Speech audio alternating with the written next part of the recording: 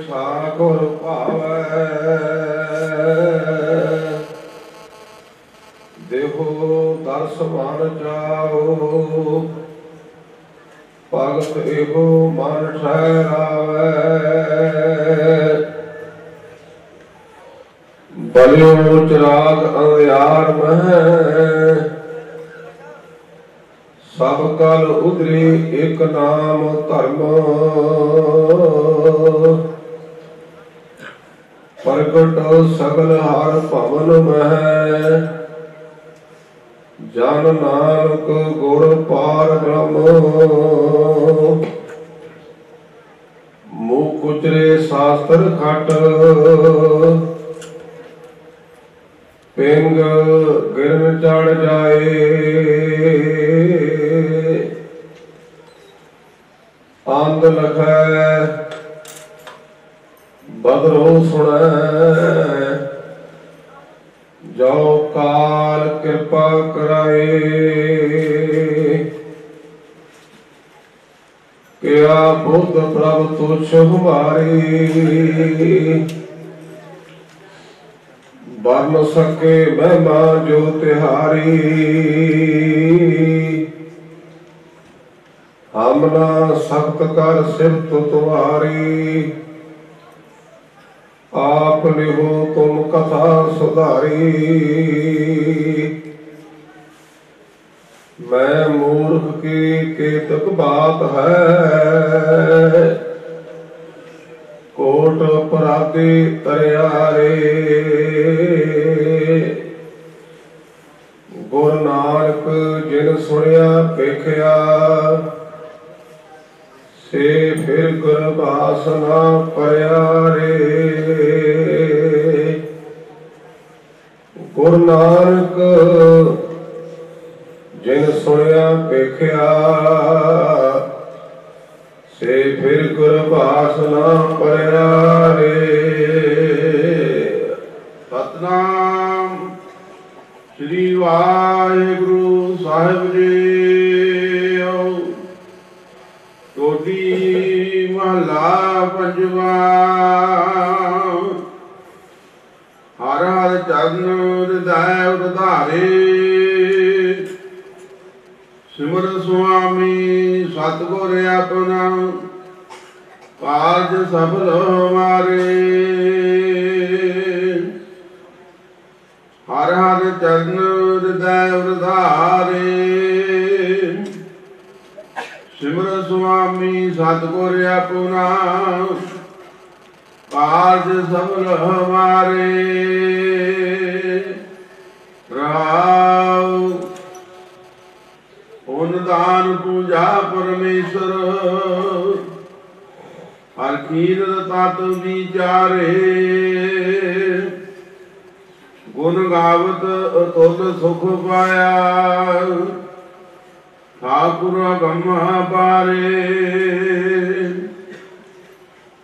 ਜੋ ਜਨ ਪਾਰ ਬ੍ਰਹਮ ਆਪਣੇ ਕੀਨੇ, ਤਿਨ ਕਾ ਬਾਹਰ ਕਛ ਨਾ ਵਿਚਾਰੇ। ਨਾਮ ਰਤਨ ਸੁਨ ਜਪ ਜਪ ਜੀਵਾ, ਹਰ ਨਾਨਕ ਕੰਠ ਮਜਾਰੇ। ਜੋ ਜਨ ਪਾਰ ਬ੍ਰਹਮ ਆਪਣੇ ਕੀਨੇ ਤਿਨ ਕਾ ਬਾਹੁਰ ਕਛ ਨ ਵਿਚਾਰੇ। ਨਾਮ ਰਤਨ ਸੁਨ ਜਪ ਜਪ ਜੀਵਾ ਹਰ ਨਾਨਕ ਕੰਠ ਮਜਾਰੇ ਵਾਹਿਗੁਰੂ ਜੀ ਕਾ ਖਾਲਸਾ, ਵਾਹਿਗੁਰੂ ਜੀ ਕੀ ਫਤਿਹ। ਗੁਰੂ ਰੂਪ, ਗੁਰੂ ਕੀ ਸਾਜੀ ਨਵਾਜੀ ਗੁਰੂ ਸੁਖ ਗੁਰੂ ਖਾਲਸਾ, ਸਤ ਸੰਗਤ ਜੀ। ਸਤਿਗੁਰੂ ਪਾਤਸ਼ਾਹ ਮਹਾਰਾਜ ਨੇ ਕਿਰਪਾ ਕੀਤੀ। ਗੁਰੂ ਕੇ ਚਰਨਾਂ ਵਿੱਚ ਬੈਠ ਕੇ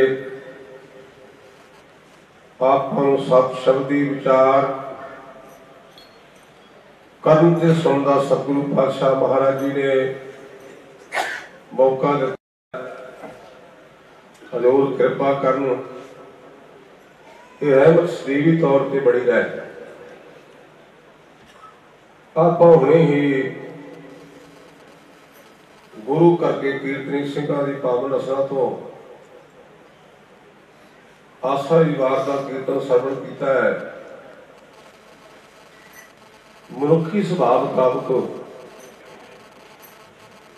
ਸ਼ੰਕਾ ਪੈਦਾ ਹੋਣਾ ਸੁਭਾਵਿਕ ਹੈ। ਜਿਹੜੀਆਂ ਵਾਰਾਂ ਨੇ, ਇਹਨਾਂ ਦਾ ਸਬੰਧ ਜੰਗਾਂ ਤੇ ਯੁੱਧਾਂ ਨਾਲ ਹੈ। ਕਿਉਂਕਿ ਪੁਰਾਣੇ ਜ਼ਮਾਨੇ 'ਚ ਜਦੋਂ ਵੀ ਸੂਰਮਿਆਂ ਦੇ ਜੰਗ ਹੁੰਦੇ ਸਨ, ਉਦੋਂ ਡੂਮ ਤੇ ਪੜ ਲੋਕ ਵਾਰਾਂ ਗਾ ਗਾ ਕੇ ਉਹਨੂੰ ਉਤਸ਼ਾਹਤ ਕਰਦੇ ਸਨ ਤਾਂ ਕਿ ਉਹ ਜੰਗ ਵਿੱਚ ਬਹਾਦਰੀ ਵਿਖਾ ਕੇ ਆਪਣੀ ਬਹਾਦਰੀ ਨੂੰ ਕਾਇਮ ਰੱਖ ਸਕਣ। ਲੋਕਾਂ ਉਹਨਾਂ ਦਾ ਜਸ ਬਣਿਆ ਰਹੇ। ਲੇਕਿਨ ਗੁਰੂ ਕੀ ਬਾਣੀ ਵਿੱਚ ਇੱਕ ਦੋ ਤਿੰਨ ਨਹੀਂ 22 12 ਸਤਿਗੁਰੂ ਪਾਤਸ਼ਾਹ ਮਹਾਰਾਜ ਨੇ ਸੁਭਾਏਮਾਨ ਕੀਤੀਆਂ ਨੇ। ਔਰ ਉਹਨਾਂ 22 12 ਦੇ ਵਿੱਚੋਂ 9 12 ਦੇ ਉੱਪਰ ਸਤਿਗੁਰੂ ਹਰਗੋਬਿੰਦ ਸੱਚੇ ਪਾਤਸ਼ਾਹ ਨੇ ਤੁਰਾ ਚੜ ਨੇ। ਮੈਂ ਬੇਨਤੀ ਕੀਤੀ ਕਿ ਵਾਰਾਂ ਦਾ ਸੰਬੰਧ ਜੰਗ ਨਾਲ ਹੈ। ਲੜਾਈ ਨਾਲ ਹੈ। ਲੇਕਿਨ ਮਨੁੱਖ ਸ਼ੰਕਾ ਕਰਦਾ ਹੈ, ਗੁਰੂ ਕੀ ਬਾਣੀ ਵਿੱਚ ਵਾਰਾਂ ਦੀ ਲੋੜ ਕਿਉਂ ਪਈ? ਆਪਾਂ ਗੁਰਮੁਖੋ ਜਵਾਨੀ ਕਲਾਮੀ ਮੰਨੀਏ ਜਾਂ ਨਾ ਮੰਨੀਏ,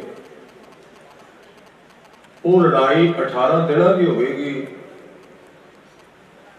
ਉਹ 2-4 ਮਹੀਨਿਆਂ ਦੀ ਹੋਵੇਗੀ ਲੜਾਈ ਮੁੱਕ ਗਈ। ਪਰ ਜਿਹੜੀ ਆਪਣੇ ਅੰਦਰ ਲੜਾਈ ਹੁੰਦੀ, ਉਹ ਮੁੱਕਦੀ ਨਹੀਂ। ਸਾਡੇ ਅੰਦਰ ਅੱਠੇ ਪਹਿਰ ਨੇਕੀ ਤੇ ਬੁਰਾਈ ਦਾ ਜੰਗ ਚੱਲਦਾ ਹੈ। ਸਾਡੇ ਹਿੰਦੁਸਤਾਨ ਦੇ ਵਿੱਚ ਬਹੁਤ ਸਾਰੇ ਵਿਦਵਾਨਾਂ ਨੇ ਆਪੋ ਆਪਣਾ ਅਨੁਭਵ ਕਰਮਬੰਦ ਕੀਤਾ। ਔਰ ਉਸ ਅਨੁਭਵ ਤੋਂ ਨੇਕ ਪੁਰਸ਼ਾਂ ਨੇ ਜੀਵਨ ਸੇਧ ਲਈ ਤੇ ਆਪਣੇ ਜੀਵਨ ਨੂੰ ਸਫਲਾ ਕੀਤਾ ਇਸੇ ਤਰ੍ਹਾਂ ਇੱਕ ਪ੍ਰਬੋਧ ਚੰਦਰ ਲਾਟ ਗ੍ਰੰਥ ਹੈ ਔਰ ਉਸ ਗ੍ਰੰਥ ਵਿੱਚ ਵਿਸ਼ੇਸ਼ ਤੌਰ ਤੇ ਇਸ ਪੱਖ ਨੂੰ ਵੱਡੇ ਪੈਮਾਨੇ ਵਿੱਚ ਉਜਾਗਰ ਕੀਤਾ ਗਿਆ ਹੈ ਇੱਕ ਪਾਸੇ ਉਹ ਹੈ ਦੂਜੇ ਪਾਸੇ ਵਿਵੇਕ ਹੈ। ਇੱਕ ਪਾਸੇ ਲੋਭ ਹੈ, ਦੂਜੇ ਪਾਸੇ ਤਿਆਗ ਹੈ। ਆਪਾਂ ਕਈ ਵਾਰ ਮੋਹ ਦੇ ਅਧੀਨ ਹੋ ਕੇ ਨਿੱਕੀ ਨਿੱਕੀ ਗਲਤੀ ਕਰ ਜਾਂਦੇ ਆ ਔਰ ਜਦੋਂ ਗੁਰੂ ਦੀ ਰਹਿਮਤ ਵਰਤੀ ਹੈ, ਉਦੋਂ ਮਨੁੱਖ ਪਾਸ ਹੋ ਜਾਂਦਾ ਵਰਨਾ ਆਪਣੇ ਆਪ ਵਿੱਚ ਫੇਲ ਹੈ। ਗੁਰੂ ਬਾਬਾ ਸਾਡੇ ਤੇ ਕਿਰਪਾ ਕਰੇ। ਨੇਕੀ ਦਾ ਪੱਖ ਹਾਵੀ ਰਵੇ ਔਰ ਗੁਰੂ ਪਾਤਸ਼ਾਹ ਰਹਿਮਤਾਂ ਕਰ ਸਾਡੇ ਅੰਦਰੋਂ ਬੁਰਾਈ ਕੂਚ ਕਰ ਜਾਏ। ਤੋ ਪਾਵਨ ਪੁੱਤਰ ਫਰਮਾਨ ਜੋ ਆਪਾਂ ਸਰਵਣ ਕੀਤਾ ਹੈ ਹਜੂਰ ਕਹਿੰਦੇ ਗੁਰਮੁਖਾ ਤੇਰੀ ਜ਼ਿੰਦਗੀ ਦਾ ਲਕਸ਼ ਉਸ ਪਰਮਾਤਮਾ ਦਾ ਚਿੰਤਨ ਕਰਨਾ ਹੈ। ਔਰ ਉਹ ਮਨੁੱਖ ਜਿਹੜੇ ਜੀਵਨ ਪਰਯੰਤ ਪਰਮਾਤਮਾ ਦੀ ਸਿਫਤ ਨਾਲ ਜੁੜੇ ਰਹਿ, ਉਹਨਾਂ ਦੀ ਜ਼ਿੰਦਗੀ ਸਫਲ। ਜਿਨ੍ਹਾਂ ਨੂੰ ਪਰਮਾਤਮਾ ਦਾ ਚੇਤਾ ਭੁੱਲ ਗਿਆ, ਉਹ ਫੇਰ। ਇਹ ਅੱਜ ਦੇ ਪਾਵਨ ਪਿੱਤਰ ਸ਼ਬਦ ਦਾ ਜੋ ਕੇਂਦਰੀ ਨੁਕਤਾ ਉਹ ਇਹ ਹੈ, ਸਿਮਰ ਸੁਆਮੀ ਸਤਿਗੁਰ ਆਪਣਾ ਕਾਰਜ ਸਭਨ ਵਾਰੇ ਉਹ ਸੁਆਮੀ ਪਰਮਾਤਮਾ ਮਾਲਕ ਵਾਹਿਗੁਰੂ ਆਪਣਾ ਜਾਣ ਕੇ ਸਿਮਰਨ ਕਰ, ਚੇਤੇ ਕਰ ਤੇ ਤੇਰੀ ਜ਼ਿੰਦਗੀ ਸਫਲ।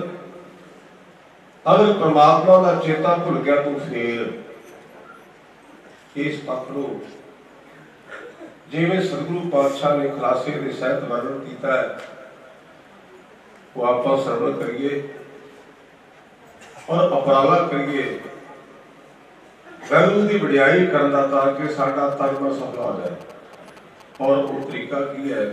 ਸਾਰੇ ਬੋਲੋ ਸਤਨਾਮ ਵਾਹਿਗੁਰੂ ਟੋਟੀ ਮਹਲਾ ਪੰਜਵਾ। ਸੋ ਇਹ ਰਾਗਾਂ ਦੇ ਮੁਤਾਬਕ ਰਾਗ ਮਾਲਾ ਦੇ ਮੁਤਾਬਕ ਟੂਟੀ ਰਾਗਣੀ ਹੈ ਦੀਪ ਰਾਗ ਦੀ। ਔਰ ਸਤਿਗੁਰੂ ਪੰਚਮ ਪਾਤਸ਼ਾਹ ਮਹਾਰਾਜ ਇਹਦੀ ਆਚਾਰ ਲਾ ਮਹੱਲੇ ਤੋਂ ਬਾਵਾ ਅਸਥਾਨ ਦੇ। ਆਪਾਂ ਨੂੰ ਗੁਰਮੁਖੋ 10 ਪਾਤਸ਼ਾਹੀਆਂ ਕਹਿੰਦੇ ਆ ਨਾ, ਇਹ ਧੰਨ ਗੁਰੂ ਨਾਨਕ ਪਾਤਸ਼ਾਹ 10 ਜਾਬੀ ਨੇ। ਗੁਰੂ ਗੁਰੂ ਨਾਨਕ ਸਾਹਿਬ ਹੈ ਗੁਰੂ ਅੰਗਦ ਸਾਹਿਬ ਉਹਨਾਂ ਦਾ ਦੂਜਾ ਚੋਲਾ ਹੈ। ਗੁਰੂ ਅਮਰਦਾਸ ਪਾਤਸ਼ਾਹ ਉਹਨਾਂ ਦਾ ਤੀਜਾ ਚੋਲਾ ਹੈ। ਇਹ ਗੱਲ ਆਪਾਂ ਨੂੰ ਬੜੀ ਉਪਰੀ ਜੀ ਲੱਗਦੀ ਹੈ। ਲੇਕਿਨ ਭੱਟ ਵੀਰਾਂ ਨੇ ਸਾਨੂੰ ਸੁਚੇਤ ਕੀਤਾ ਕਹਿੰਦੇ ਜੋਤ ਰੂਪ ਹਰ ਆਪ ਗੁਰੂ ਨਾਨਕ ਕਹਾਇਓ, ਤਾਂ ਤੇ ਅੰਗਦ ਭਇਓ ਤਤ ਸਿਉ ਤਤ ਬੁਲਾਇਓ। ਅੰਗਦ ਕਿਰਪਾ ਧਾਰ ਅਮਰ ਸਤਿਗੁਰ ਥਿਰ ਕੀਓ। ਅਮਰਦਾਸ ਅੰਮ੍ਰਿਤ ਛਤਰ ਗੁਰ ਰਾਮੇ ਦਿਓ। ਗੁਰ ਰਾਮਦਾਸ ਦਰਸ਼ਨ ਪਰ ਸਕੈ ਮਥਾ ਅੰਮ੍ਰਿਤ ਬੈਣ। ਮੂਰਤ ਪੰਜ ਪਰਮਾਨ ਪੁਰਖ ਗੁਰ ਅਰਜਨ ਕੋ ਰਹਿਣ ਆਪਾਂ ਮਹੱਲਾ ਪੰਜਵਾਂ ਪੜ੍ਹੀਏ ਮਹੱਲਾ ਤੀਜਾ ਪੜ੍ਹਨਗੇ। ਲੇਕਿਨ ਸ਼ਬਦ ਦੇ ਸੰਪੂਰਨ ਹੋਣ ਸਮੇਂ ਨਾਮ ਪਦ ਆਉਂਦਾ ਹੈ। ਭਾਵ ਗੁਰਮੁਖਾ, ਕਿਤੇ ਭੁਲੇਖਾ ਨਾ ਖਾ ਜੇ ਕਿ ਗੁਰੂ ਅੰਗਦ ਸਾਹਿਬ ਸੱਚੇ ਪਾਤਸ਼ਾਹ ਧੰਨ ਗੁਰੂ ਅਮਰਦਾਸ ਪਾਤਸ਼ਾਹ ਤੋਂ ਅੱਡ ਹਨ। ਕਿਤੇ ਤੈਨੂੰ ਭੁਲੇਖਾ ਨਾ ਪੈ ਜਾਏ ਕਿ ਗੁਰੂ ਹਰਗੋਬਿੰਦ ਸੱਚੇ ਪਾਤਸ਼ਾਹ ਮਹਾਰਾਜ, ਗੁਰੂ ਤੇਗ ਬਹਾਦਰ ਪਾਤਸ਼ਾਹ ਤੋਂ ਅਲੱਗ ਨੇ। ਇਹ ਇੱਕ ਜੋਤ ਵਰਤਦੀ, ਇੱਕ ਜੋਤ। ਲੇਕਿਨ ਇਹ ਪੰਜਵਾਂ ਜਾਮਾ ਹੈ। ਤਾਂ ਉਹ ਧੰਨ ਗੁਰੂ ਨਾਨਕ ਪਾਤਸ਼ਾਹ ਮਹਾਰਾਜ ਦੇ ਪੰਜਵੇਂ ਜਾਮੇ ਦੇ ਵਿੱਚ ਸਾਨੂੰ ਸੁਚੇਤ ਕਰਦੇ ਨੇ ਸਾਵਧਾਨ ਕਰਦੇ ਹਨ। ਹਰ ਹਰ ਚਰਨ ਹਿਰਦੈ ਉਰਦਾਰੇ। ਗੁਰਮੁਖੋ ਜਿਹੜਾ ਹਾਰ ਅੱਖਰ ਹੈ ਨਾ ਇਹਦੇ ਕੋਸ਼ਕਾਰਾਂ ਨੇ 52 ਅਰਥ ਕੀਤੇ ਨੇ 52 ਸਾਰਗ ਦੇ 72 ਅਰਥ ਕੀਤੇ ਹਨ। ਹਰ ਦਾ ਅਰਥ ਬ੍ਰਹਮਾ ਵੀ ਹੈ ਹਰ ਦਾ ਅਰਥ ਵਿਸ਼ਨੂੰ ਵੀ ਹੈ। ਹਰ ਦਾ ਅਰਥ ਮਹੇਸ਼ ਵੀ ਹੈ, ਹਰ ਦਾ ਅਰਥ ਪਾਣੀ ਵੀ ਹੈ ਤੇ ਹਰ ਦਾ ਅਰਥ ਡੱਡੂ ਵੀ ਹੈ। ਹਰ ਦਾ ਅਰਥ ਚੋਰ ਵੀ ਹੈ। ਇਹ ਬੜੀ ਅਜੀਬੋ ਗਰੀਬ ਗੱਲ ਹੈ। ਇੱਕ ਪਾਸੇ ਪ੍ਰਮਾਤਮਾ ਨੂੰ ਹਰ ਦੇ ਇੱਕ ਪਾਸੇ ਹਰ ਨੂੰ, ਚੋਰ ਚੋਰ ਨੂੰ ਹਰ ਉਹ ਤਾਨੇ ਕੁਛ ਕਰਦੇ ਨੇ ਕਿ ਗੁਰਮੁਖਾ ਜਦੋਂ ਚੋਰ ਚੋਰੀ ਕਰਦਾ ਨਾ। ਤੇ ਬਾਹਰ ਚੋਰ ਹੈ, ਜਿਹੜਾ ਘਰ ਵਾਲੇ ਨੂੰ ਪਤਾ ਨਾ ਚੱਲਣ ਦੇਵੇ ਤੇ ਸਾਰਾ ਘਰ ਸਾਫ਼ ਕਰਦਾ ਹੈ। ਤੇ ਖੜਕਾ ਹੋਇਆ ਤੇ ਚੋਰ ਕਾਦਾ ਅਸਲੀ ਚੋਰ ਤਾਂ ਬਾਹਰ ਚੋਰ। ਕਿ ਸਾਰਾ ਕੁਝ ਉਹਨਾਂ ਦਾ ਸਾਫ਼ ਕਰ ਜੇ, ਚਕਮ ਕਰ ਜੇ, ਪਰ ਉਹਨਾਂ ਨੂੰ ਪਤਾ ਨਾ ਚੱਲੇ। ਉਹ ਵਿਦਵਾਨ ਪੁੱਛ ਕਰਦੇ ਨੇ ਕਿ ਇਹ ਸਾਡੇ ਬਜ਼ੁਰਗਾਂ ਨੇ ਤਸ਼ਵੀਰ ਤਾਂ ਦਿੱਤੀ ਹੈ। ਜਦੋਂ ਮਨੁੱਖ ਤੇ ਰਹਿਮਤ ਕਰਦਾ ਤੇ ਬੰਦੇ ਨੂੰ ਪਤਾ ਹੀ ਨਹੀਂ ਚੱਲਦਾ। ਜਦੋਂ ਕੋ ਪਰਿਪੂਰਨ ਪਰਮਾਤਮਾ ਸਾਡੇ ਅੰਦਰ ਬੁਰਾਈਆਂ ਦੂਰ ਕਰਦਾ ਨਾ, ਤੇ ਮਨੁੱਖ ਨੂੰ ਪਤਾ ਨਹੀਂ ਚੱਲਦਾ ਕਿ ਉਹਦੀ ਕਦੋਂ ਰਹਿਮਤ ਹੋ ਜਾਂਦੀ ਹੈ। ਉਹਦੀ ਕਦੋਂ ਕਿਰਪਾ ਹੋ ਜਾਂਦੀ ਹੈ। ਉਹ ਹਰ ਥਾਂ ਤੇ ਵਿਆਪਕ ਹੈ। ਔਰ ਦੁੱਖਾਂ ਦਾ ਹਰਕ ਇੱਥੇ ਬਹੁਤ ਸੁੰਦਰ ਦਸ਼ਾਂਤ ਦੀ ਸਾਡੀ ਪੁਰਾਣ ਦੇ ਗ੍ਰੰਥਾਂ ਚੋਂ। ਜਿਵੇਂ ਪੰਜਾਬੀ ਦੇ ਦੋ ਮਹਾਨ ਕਵੀ ਬਣੇ ਨੇ, ਬਾਦਸ਼ਾਹ ਤੇ ਭਾਈ ਸਾਹਿਬ ਭਾਈਵੀਰ ਸਿੰਘ ਜੀ, ਉਰਦੂ ਦੇ ਮਿਰਜ਼ਾ ਗਾਲਬ ਜੀ, ਹਿੰਦੀ ਦੇ ਤੁਲਸੀਦਾਸ ਜੀ, ਅੰਗਰੇਜ਼ੀ ਦੇ ਸ਼ੇਕਸਪੀਅਰ ਇਸੇ ਤਰ੍ਹਾਂ ਫਾਰਸੀ ਦਾ ਸ਼੍ਰੋਮਣੀ ਕਵੀ ਬਣਿਆ ਸ਼ੇਖ ਸ਼ਾਦੀ ਨੂੰ। ਉਹ ਆਪਣੇ ਉਸਤਾਦ ਕੋਲ ਪੜ੍ਹਨ ਜਾਂਦੇ ਨੇ ਰੋਜ਼ਾਨਾ। ਕਿ ਉਹਨਾਂ ਦੇ ਉਸਤਾਦ ਦਾ ਪੜਾਉਣ ਦਾ ਤਰੀਕਾ ਇਹ ਹੈ ਕਿ ਉਹਨਾਂ ਨੂੰ ਸਾਰਾ ਉਹ ਸਬਕ ਪੜਾ ਕੇ ਤੇ ਮੁੜ ਕੇ ਸਮਾਪਤੀ ਸਮੇਂ ਕਹਿੰਦੇ ਪੁੱਤਰ ਰੱਬ ਹਰ ਦੇ ਹਿਰਦੇ ਵਿੱਚ ਹੈ। ਹਰ ਥਾਂ ਤੇ ਹੈ ਰੱਬ। ਇਹ ਉਹਨਾਂ ਨੇ ਬਣਾ ਲਿਆ ਜਿਵੇਂ ਤੁਸੀਂ ਜਰੀਸ਼ ਨੂੰ ਪੜੋ ਨਾ। ਤੇ ਜਦੋਂ ਉਹ ਸਮਾਪਤੀ ਕਰਦਾ ਉਹ ਕਹਿੰਦਾ, ਅੱਜ ਇੰਨਾ ਹੀ। ਰਿਲੀਜੀਅਨ ਦੀ ਕਿਤਾਬਾਂ ਪੜੋ ਜਿਹੜੀ ਉਹਨਾਂ ਨਕਲ ਲਿਖੀਆਂ ਉਹਦੇ ਪੈਰੋਕਾਰਾਂ ਨੇ, ਉਹਨਾਂ ਦੇ ਲੈਕਚਰਾਂ ਨੂੰ ਉਹ ਆਪਣੇ ਲੈਕਚਰ ਦੇ ਮੌਕੇ ਸਮਾਪਤੀ ਦੇ ਕਹਿੰਦੇ, ਅੱਜ ਇੰਨਾ ਹੀ। ਇਸੇ ਤਰ੍ਹਾਂ ਉਹ ਸ਼ੇਖ ਸ਼ਾਹ ਜੀ ਦਾ ਉਸਤਾਦ ਆਪਣੇ ਵਿਚਾਰਾਂ ਦੀ ਸਮਾਪਤੀ ਸਮੇਂ ਕਹਿੰਦਾ ਕਿ ਪੁੱਤਰ ਰੱਬ ਹੱਥਾਂ ਤੇ ਹੈ ਸਮਾਂ ਲੱਗ ਗਿਆ। ਕੁਝ ਸਮੇਂ ਤੋਂ ਪ੍ਰੰਤ ਉਹਨੇ ਮਨ ਵਿੱਚ ਵਿਚਾਰ ਕੀਤੀ, ਵੇਖਾਂ ਤਾਂ ਸਹੀ ਕਿ ਮੇਰੇ ਵਿਦਿਆਰਥੀਆਂ ਨੇ ਸਬਕ ਪਗਾਇਆ ਕਿ ਪੁੱਛਿਆ, ਕਾਕਾ, ਰੱਬ ਕਿੱਥੇ ਰਹਿੰਦਾ ਹੈ? ਸਾਰੇ ਨੇ ਆਪੋ ਆਪਣੀ ਅਨੁਭਵ ਦੇ ਮੁਤਾਬਕ ਜਵਾਬ ਦਿੱਤਾ। ਲੇਕਿਨ ਸ਼ੇਖ ਸ਼ਾਹ ਜੀ ਨੇ ਹੱਥ ਖੜਾ ਕੀਤਾ। ਉਹ ਆਪਾਂ ਸਕੂਲਾਂ 'ਚ ਪੜ੍ਹਦੇ ਸਨ ਕਿ ਸਾਡੇ ਉਸਤਾਦ ਟੀਚਰ ਸਾਹਿਬਾਨ ਸਾਨੂੰ ਪੁੱਛਦੇ ਤੇ ਜਿਹਨੂੰ ਸਵਾਲ ਜਵਾਬ ਆਉਂਦਾ ਸੀ ਹੱਥ ਖੜਾ ਕਰਦਾ ਸੀ ਕਿ ਮੈਨੂੰ ਆਉਂਦਾ ਸ਼ੇਖ ਸ਼ਾਹ ਨੇ ਹੱਥ ਖੜਾ ਕੀਤਾ ਤੇ ਕਹਿਣ ਲੱਗਾ, ਪੁੱਤਰ ਦੱਸ ਕਹਿੰਦਾ ਜੀ ਹੋਰ ਹਰ ਥਾਂ ਤੇ ਰੱਬ ਪਰ ਬੰਦੇ ਦੇ ਆਪਣੇ ਦਿਲ ਵਿੱਚ ਨਹੀਂ। ਤੇ ਸ਼ੇਖ ਸ਼ਾਹ ਨੇ ਜਵਾਬ ਦਿੱਤਾ ਆਪਣੇ ਉਸਤਾਦ ਨੂੰ, ਇਹ ਗੱਲ ਉਹਦੀ ਨਹੀਂ, ਕਿਉਂਕਿ ਜਿਹੜੇ ਮਹਾਂਪੁਰਸ਼ ਨੇ ਨਾ ਆਪਾਂ ਗੁਰਬਾਣੀ ਚ ਪੜ੍ਹਦੇ ਹਾਂ, ਪਰ ਥਾਏ ਸਾਗੀ ਮਹਾਂਪੁਰਖ ਬੋਲਦੇ ਸਾਰੀ ਸੰਗਤ ਜਾ ਰਿਹਾ ਉਹਨਾਂ ਦਾ ਕਹਿਣ ਤੇ ਕਰਨ ਦਾ ਢੰਗ ਸਾਡੇ ਨਾਲ ਰਹਿਦਾ, ਪਰ ਨਿਸ਼ਾਨਾ ਉਹਨਾਂ ਦਾ ਹੁੰਦਾ ਕਿ ਸਾਨੂੰ ਕੁਝ ਅਗਲ ਆ ਜਾਏ ਸਾਨੂੰ ਸਿੱਖਿਆ ਮਿਲ ਜਾਏ। ਅਸੀਂ ਬਾਹਰ ਰੱਬ ਨੂੰ ਲੱਭਦੇ, ਪਰ ਕਦੇ ਅੰਦਰੋਂ ਲੱਭਣ ਦਾ ਯਤਨ ਨਹੀਂ ਕੀਤਾ। ਸਾਡਾ ਉਪਰਾਲਾ ਇਹ ਹੈ ਹੈ ਤਾਂ ਪ੍ਰਮਾਤਮਾ ਦੀ ਪ੍ਰਾਪਤੀ ਕਰਨ ਦਾ ਉਪਰਾਲਾ। ਹੈ ਸਾਡੇ ਅੰਦਰ। ਪਰ ਆਪਾਂ ਹੀ ਇਹਨੂੰ ਅੰਦਰੋਂ ਨਹੀਂ, ਆਪਾਂ ਬਾਹਰ ਲੱਭਦੇ ਹਾਂ। ਜਿਵੇਂ ਮੈਂ ਕੇਵਲ ਉਦਾਹਰਨ ਦਿੰਦਾ ਹਾਂ ਮੱਜੀ ਸਾਹਿਬ ਵੀ ਕਿ ਜਿਹੜੇ ਅੰਮ੍ਰਿਤਸਰ ਰਹਿੰਦੇ ਕਹਿੰਦੇ ਨੇ ਕਿ ਗੁਰੂ ਕਿਤੇ ਕਿਰਪਾ ਕਰੇ, ਹਜੂਰ ਸਾਹਿਬ ਪਤਾ ਟੇਕ ਆਈਏ। ਬੜੀ ਚੰਗੀ ਗੱਲ, ਜਾਣਾ ਚਾਹੀਦਾ ਸੀ ਸਿੱਖਾਂ। ਜਿਹੜੇ ਹਜੂਰ ਸਾਹਿਬ ਵਾਲੇ ਕਹਿੰਦੇ ਨੇ, ਤੇਰੇ ਸਾਡੇ ਤੇ ਵੀ ਗੁਰੂ ਕਿਰਪਾ ਕਰੇਗਾ ਅੰਮ੍ਰਿਤਸਰ ਜਾਵਾਂਗੇ। ਇਹਦਾ ਭਾਵ ਇਹ ਹੋਇਆ ਕਿ ਜਿਹੜੇ ਅੰਮ੍ਰਿਤਸਰ ਵਾਲੇ, ਉਹਨਾਂ ਦਾ ਰੱਬ ਹੋਇਆ ਹਜੂਰ ਸਾਹਿਬ। ਤੇ ਜਿਹੜੇ ਹਜੂਰ ਸਾਹਿਬ ਵਾਲੇ ਹੋਏ, ਉਹਨਾਂ ਦਾ ਰੱਬ ਹੋਇਆ ਅੰਮ੍ਰਿਤਸਰ। ਇਹ ਸਾਨੂੰ ਸਾਰਿਆਂ ਨੂੰ ਕੌਂਸਲਾ ਹੈ। ਜਿਵੇਂ ਅਸੀਂ ਕਹਿੰਦੇ ਵੀ ਗਿਆਨੀ ਜੀ, ਤੁਸੀਂ ਅੰਮ੍ਰਿਤਸਰ ਚੱਲੇ, ਸਾਡੀ ਅਰਦਾਸ ਕਰਿਆ ਜੀ। ਇਹ ਠੀਕ ਹੈ। ਸਾਡਾ ਧਾਰਮਿਕ ਕੇਂਦਰ ਹਰਮੰਦਰ ਸਾਹਿਬ ਹੈ, ਅਕਾਲ ਤਖਤ ਸਾਹਿਬ ਹੈ। ਤੇ ਸਿੱਖਾ, ਕੀ ਪਤਾ ਉਹ ਕੱਲ ਜਾਵੇ, ਅੱਜ ਜਾਵੇ ਜਾਂ ਜਾਵੇ ਤੇ ਕੀ ਤੂੰ ਅਰਦਾਸ ਛੱਡ ਦੇਗਾ ਜਿਹੜੇ ਗੁਰੂ ਗ੍ਰੰਥ ਸੱਚੇ ਪਾਤਸ਼ਾਹੀ ਤੇ ਪ੍ਰਕਾਸ਼ ਨੇ ਗੁਰੂ ਕੋ ਉੱਥੇ ਉਹ ਹੀ ਹੈ ਗੁਰੂ ਗ੍ਰੰਥ ਸੱਚੇ ਪਾਤਸ਼ਾਹ ਦੀ ਸ਼ਕਤੀ ਵਿੱਚ ਕੋਈ ਫ਼ਰਕ ਨਹੀਂ। ਲੇਕਿਨ ਸਾਨੂੰ ਭੁਲੇਖਾ ਪੈ ਗਿਆ ਕਿ ਫਲਾਣੇ ਥਾਂ ਤੇ ਰੱਬ ਵੱਡਾ, ਫਲਾਣੇ ਥਾਂ ਤੇ ਰੱਬ ਛੋਟਾ ਛੋਟਾ ਨਹੀਂ। ਸਾਡੀ ਸੋਚ ਛੋਟੀ। ਸਾਨੂੰ ਸਤਿਗੁਰੂ ਤੇਗ ਬਹਾਦਰ ਪਾਤਸ਼ਾਹ ਮਹਾਰਾਜ ਜੀ ਨੇ ਸਮਝਾਇਆ ਭਰਿਆ ਕਾਹੇ ਰੇ ਬਲ ਖੋਜਨ ਜਾਈ ਸਰਬ ਨਿਵਾਸੀ ਸਦਾ ਅਲੇਪਾ ਤੋ ਹੀ ਸੰਤ ਸੁਭਾਈ ਉਹ ਬਦ ਜੋ ਬਾਸ ਬਸਤ ਹੈ ਮੁਕਰ ਮਾਹੇ ਜੈਸੇ ਸ਼ਾਈ ਤੈਸੇ ਹੀ ਹਰ ਬਸੇ ਨਿਰੰਤਰ ਇਸੇ ਨਿਰੰਤਰ ਤੋਂ ਭਾਵ ਲਗਾਤਾਰ ਕੰਟੀਨਿਊਸਲੀ ਇਹ ਨਹੀਂ ਵੀ ਅੱਜ ਰੱਬ ਜਾਗਾ ਤੇ ਕੱਲ ਨੂੰ ਘਟ ਕੱਲ ਨੂੰ ਘਟ ਤੇ ਅੱਜ ਜਾਣਾ ਨਾ।